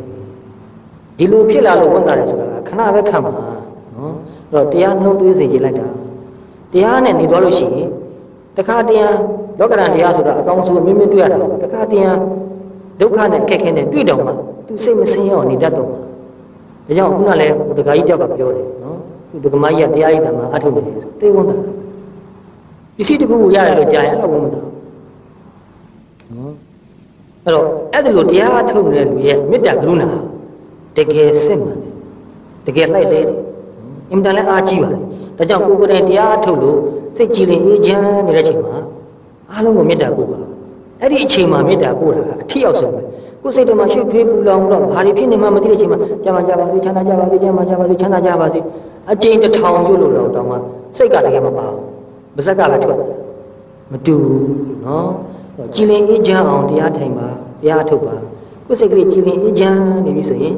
ဒါတွေသမီးတွေကစကျမ်းမာကြပါစေချမ်းသာကြပါစေမိဘတွေလည်းပဲအယုံပြုပြီးကျမ်းမာကြပါစေချမ်းသာကြပါစေတခြားတခြားကိုယ်လုပ်ပဲကမ္မတီတယောက်ချင်းတယောက်ချင်းအယုံပြုပြီးရင်ဒီလောကလုံးချုံဒီလောကလုံးတော်တွေအားလုံးကျမ်းမာကြချမ်းသာချမ်းသာကြပါစေအဲ့ဒါတကယ်စစ်မှန်နော် authentic ဖြစ်မယ်တကယ် real ဖြစ်မယ် This love and awareness seem to highlight the blessedness and appreciation of life as I slip through the ups and downs of my days နော် ups and downs ဒီနေ့တာပြောမှာနော်ဝေဒနာကတိုးတဲ့ခါတိုးရော့တဲ့ခါရော့အစဉ်ပြေတဲ့ခါပြေမပြေတဲ့ခါမပြေဒီလိုကြားထဲမှာနေတွားနေတဲ့ကိုပဲဒီတနေ့တာကိုသူအင်မတန်တန်ဖိုးရှိပါတယ်ဆိုတာမျိုးခံစားလို့ရတယ်ဘယ်လိုကုန်တော့ကုန်တော့ဒါကြောင့်တရားကိုနှလုံးသွင်းနေတဲ့လူကအဆိုးနဲ့တွေ့လည်းပဲအရှုံးမရှိဘူးနော်သတိတံဝေကပိုးပြီးတော့ရတယ်အသိဉာဏ်တိုးလာတယ်သိခံနေတဲ့စိတ်တွေရလာတယ်အကောင်းနဲ့တွေ့လည်းပဲအရှုံးမရှိဘူးသတိတံဝေကရတာ ဒီကောင်းတယ်ဆိုတော့လည်းပဲတကယ်တော့တစ်သက်လုံးမြဲမှာမဟုတ်ပါဘူးဘာမှမမနာကြီးစရာမလိုဘူးနော်အဲ့ဒါလို့တနေ့တာတိုင်းတနေ့တာတိုင်းကို तू precious နော်တိတ်တန်ဖိုးရှိတာပဲ precious ဆိုတာဟိုကြောက်မြတ်ရတနာကိုလည်းပဲ precious stone လို့ခေါ်တယ်နော်အဖိုးတန်ရတနာအဲ့ဒါလိုပဲသူ့ရဲ့တနေ့တာကတိတ် precious ဖြစ်တာပဲအဲ့တော့ဒကမာကြီးလည်းပဲအသက်ကြီးပြီဟိုဒေါက်တာဘန်ဝိုင်နင်ဂါဆိုတာ ဒေါက်တာကြီးတယောက်ခင်ခင်မနေခဲ့ဘူးလေသူအသက်60ကျော်လောက်မှဆုံးသွားပြီတနေ့ကဥဒ္ဒလောကငင်းတယောက်ကစာရေးတယ်အရှင်ဘုရားရဲ့မိတ်ဆွေကြီးဆုံးသွားပါပြီတဲ့အသက်က60ကျော်သွားပြီနော်အဲ့ဒီဒေါက်တာဘန်ဝိုင်နင်ဂါနဲ့သူ့အိမ်ကကယ်လီဖိုးနီးယားကစန်တာဘာဘာရာဆိုတဲ့မြို့မှာရှိတယ်အမေရိကန်မှာနေတုန်းကသူ့အိမ်ကိုရောက်ခဲ့တယ်သူတို့လည်းများနှစ်ယောက်စလုံးဘုရားဘာသာတရားကိုအားထုတ်တယ်အဲ့ဒီဘန်ဝိုင်နင်ဂါနဲ့စကားတွေလည်းအများကြီးပြောခဲ့တယ် သူတခုပြောတာကိုဒီကမာကြီးကိုမှားလိုက်ချင်တယ်နော်သူကဘာပြောလဲဆိုတော့နေ့တိုင်းဟာတပိတော်ရဲ့ birthday ပဲ every day is my birthday နော်အဲ့တော့ဒီကမာကြီးလည်းတစ်နှစ်မှမှတစ်ခါ birthday မလုပ်ပါနဲ့နော် every day is my birthday i'm celebrating my birthday every day နော်သူအင်မတန်ရှင်လန်းတာပဲ အဲ့ဒီအသက်60ကျော်ထိအောင်ကြီးကြီးလေးလေးရှင်ရှင်လန်းလန်းမနေသွားတာနော်တော့ဒကမာကြီးကလည်းပဲတရားအထုတ်ပြီးနေ့စဉ်ပဲ every day is my birthday every day is precious i'm celebrating my birthday every day အဲ့တော့မွေးနေ့မှာကုသိုလ်ရေးအထူးသဖြင့်တရားဘာဝနာပွားပြီးတော့နေသွားမှာဆိုအကောင်းဆုံးပဲနော်မွေးနေ့မဟုတ်တဲ့နေ့မှာလည်းပဲတော့မှာတို့တော်လည်းပဲနေ့တိုင်းကငါမွေးနေ့ဆိုတဲ့လူကိုကတော့အထူးရေးစရာမရှိတော့ဘူးနော်သာဓုသာ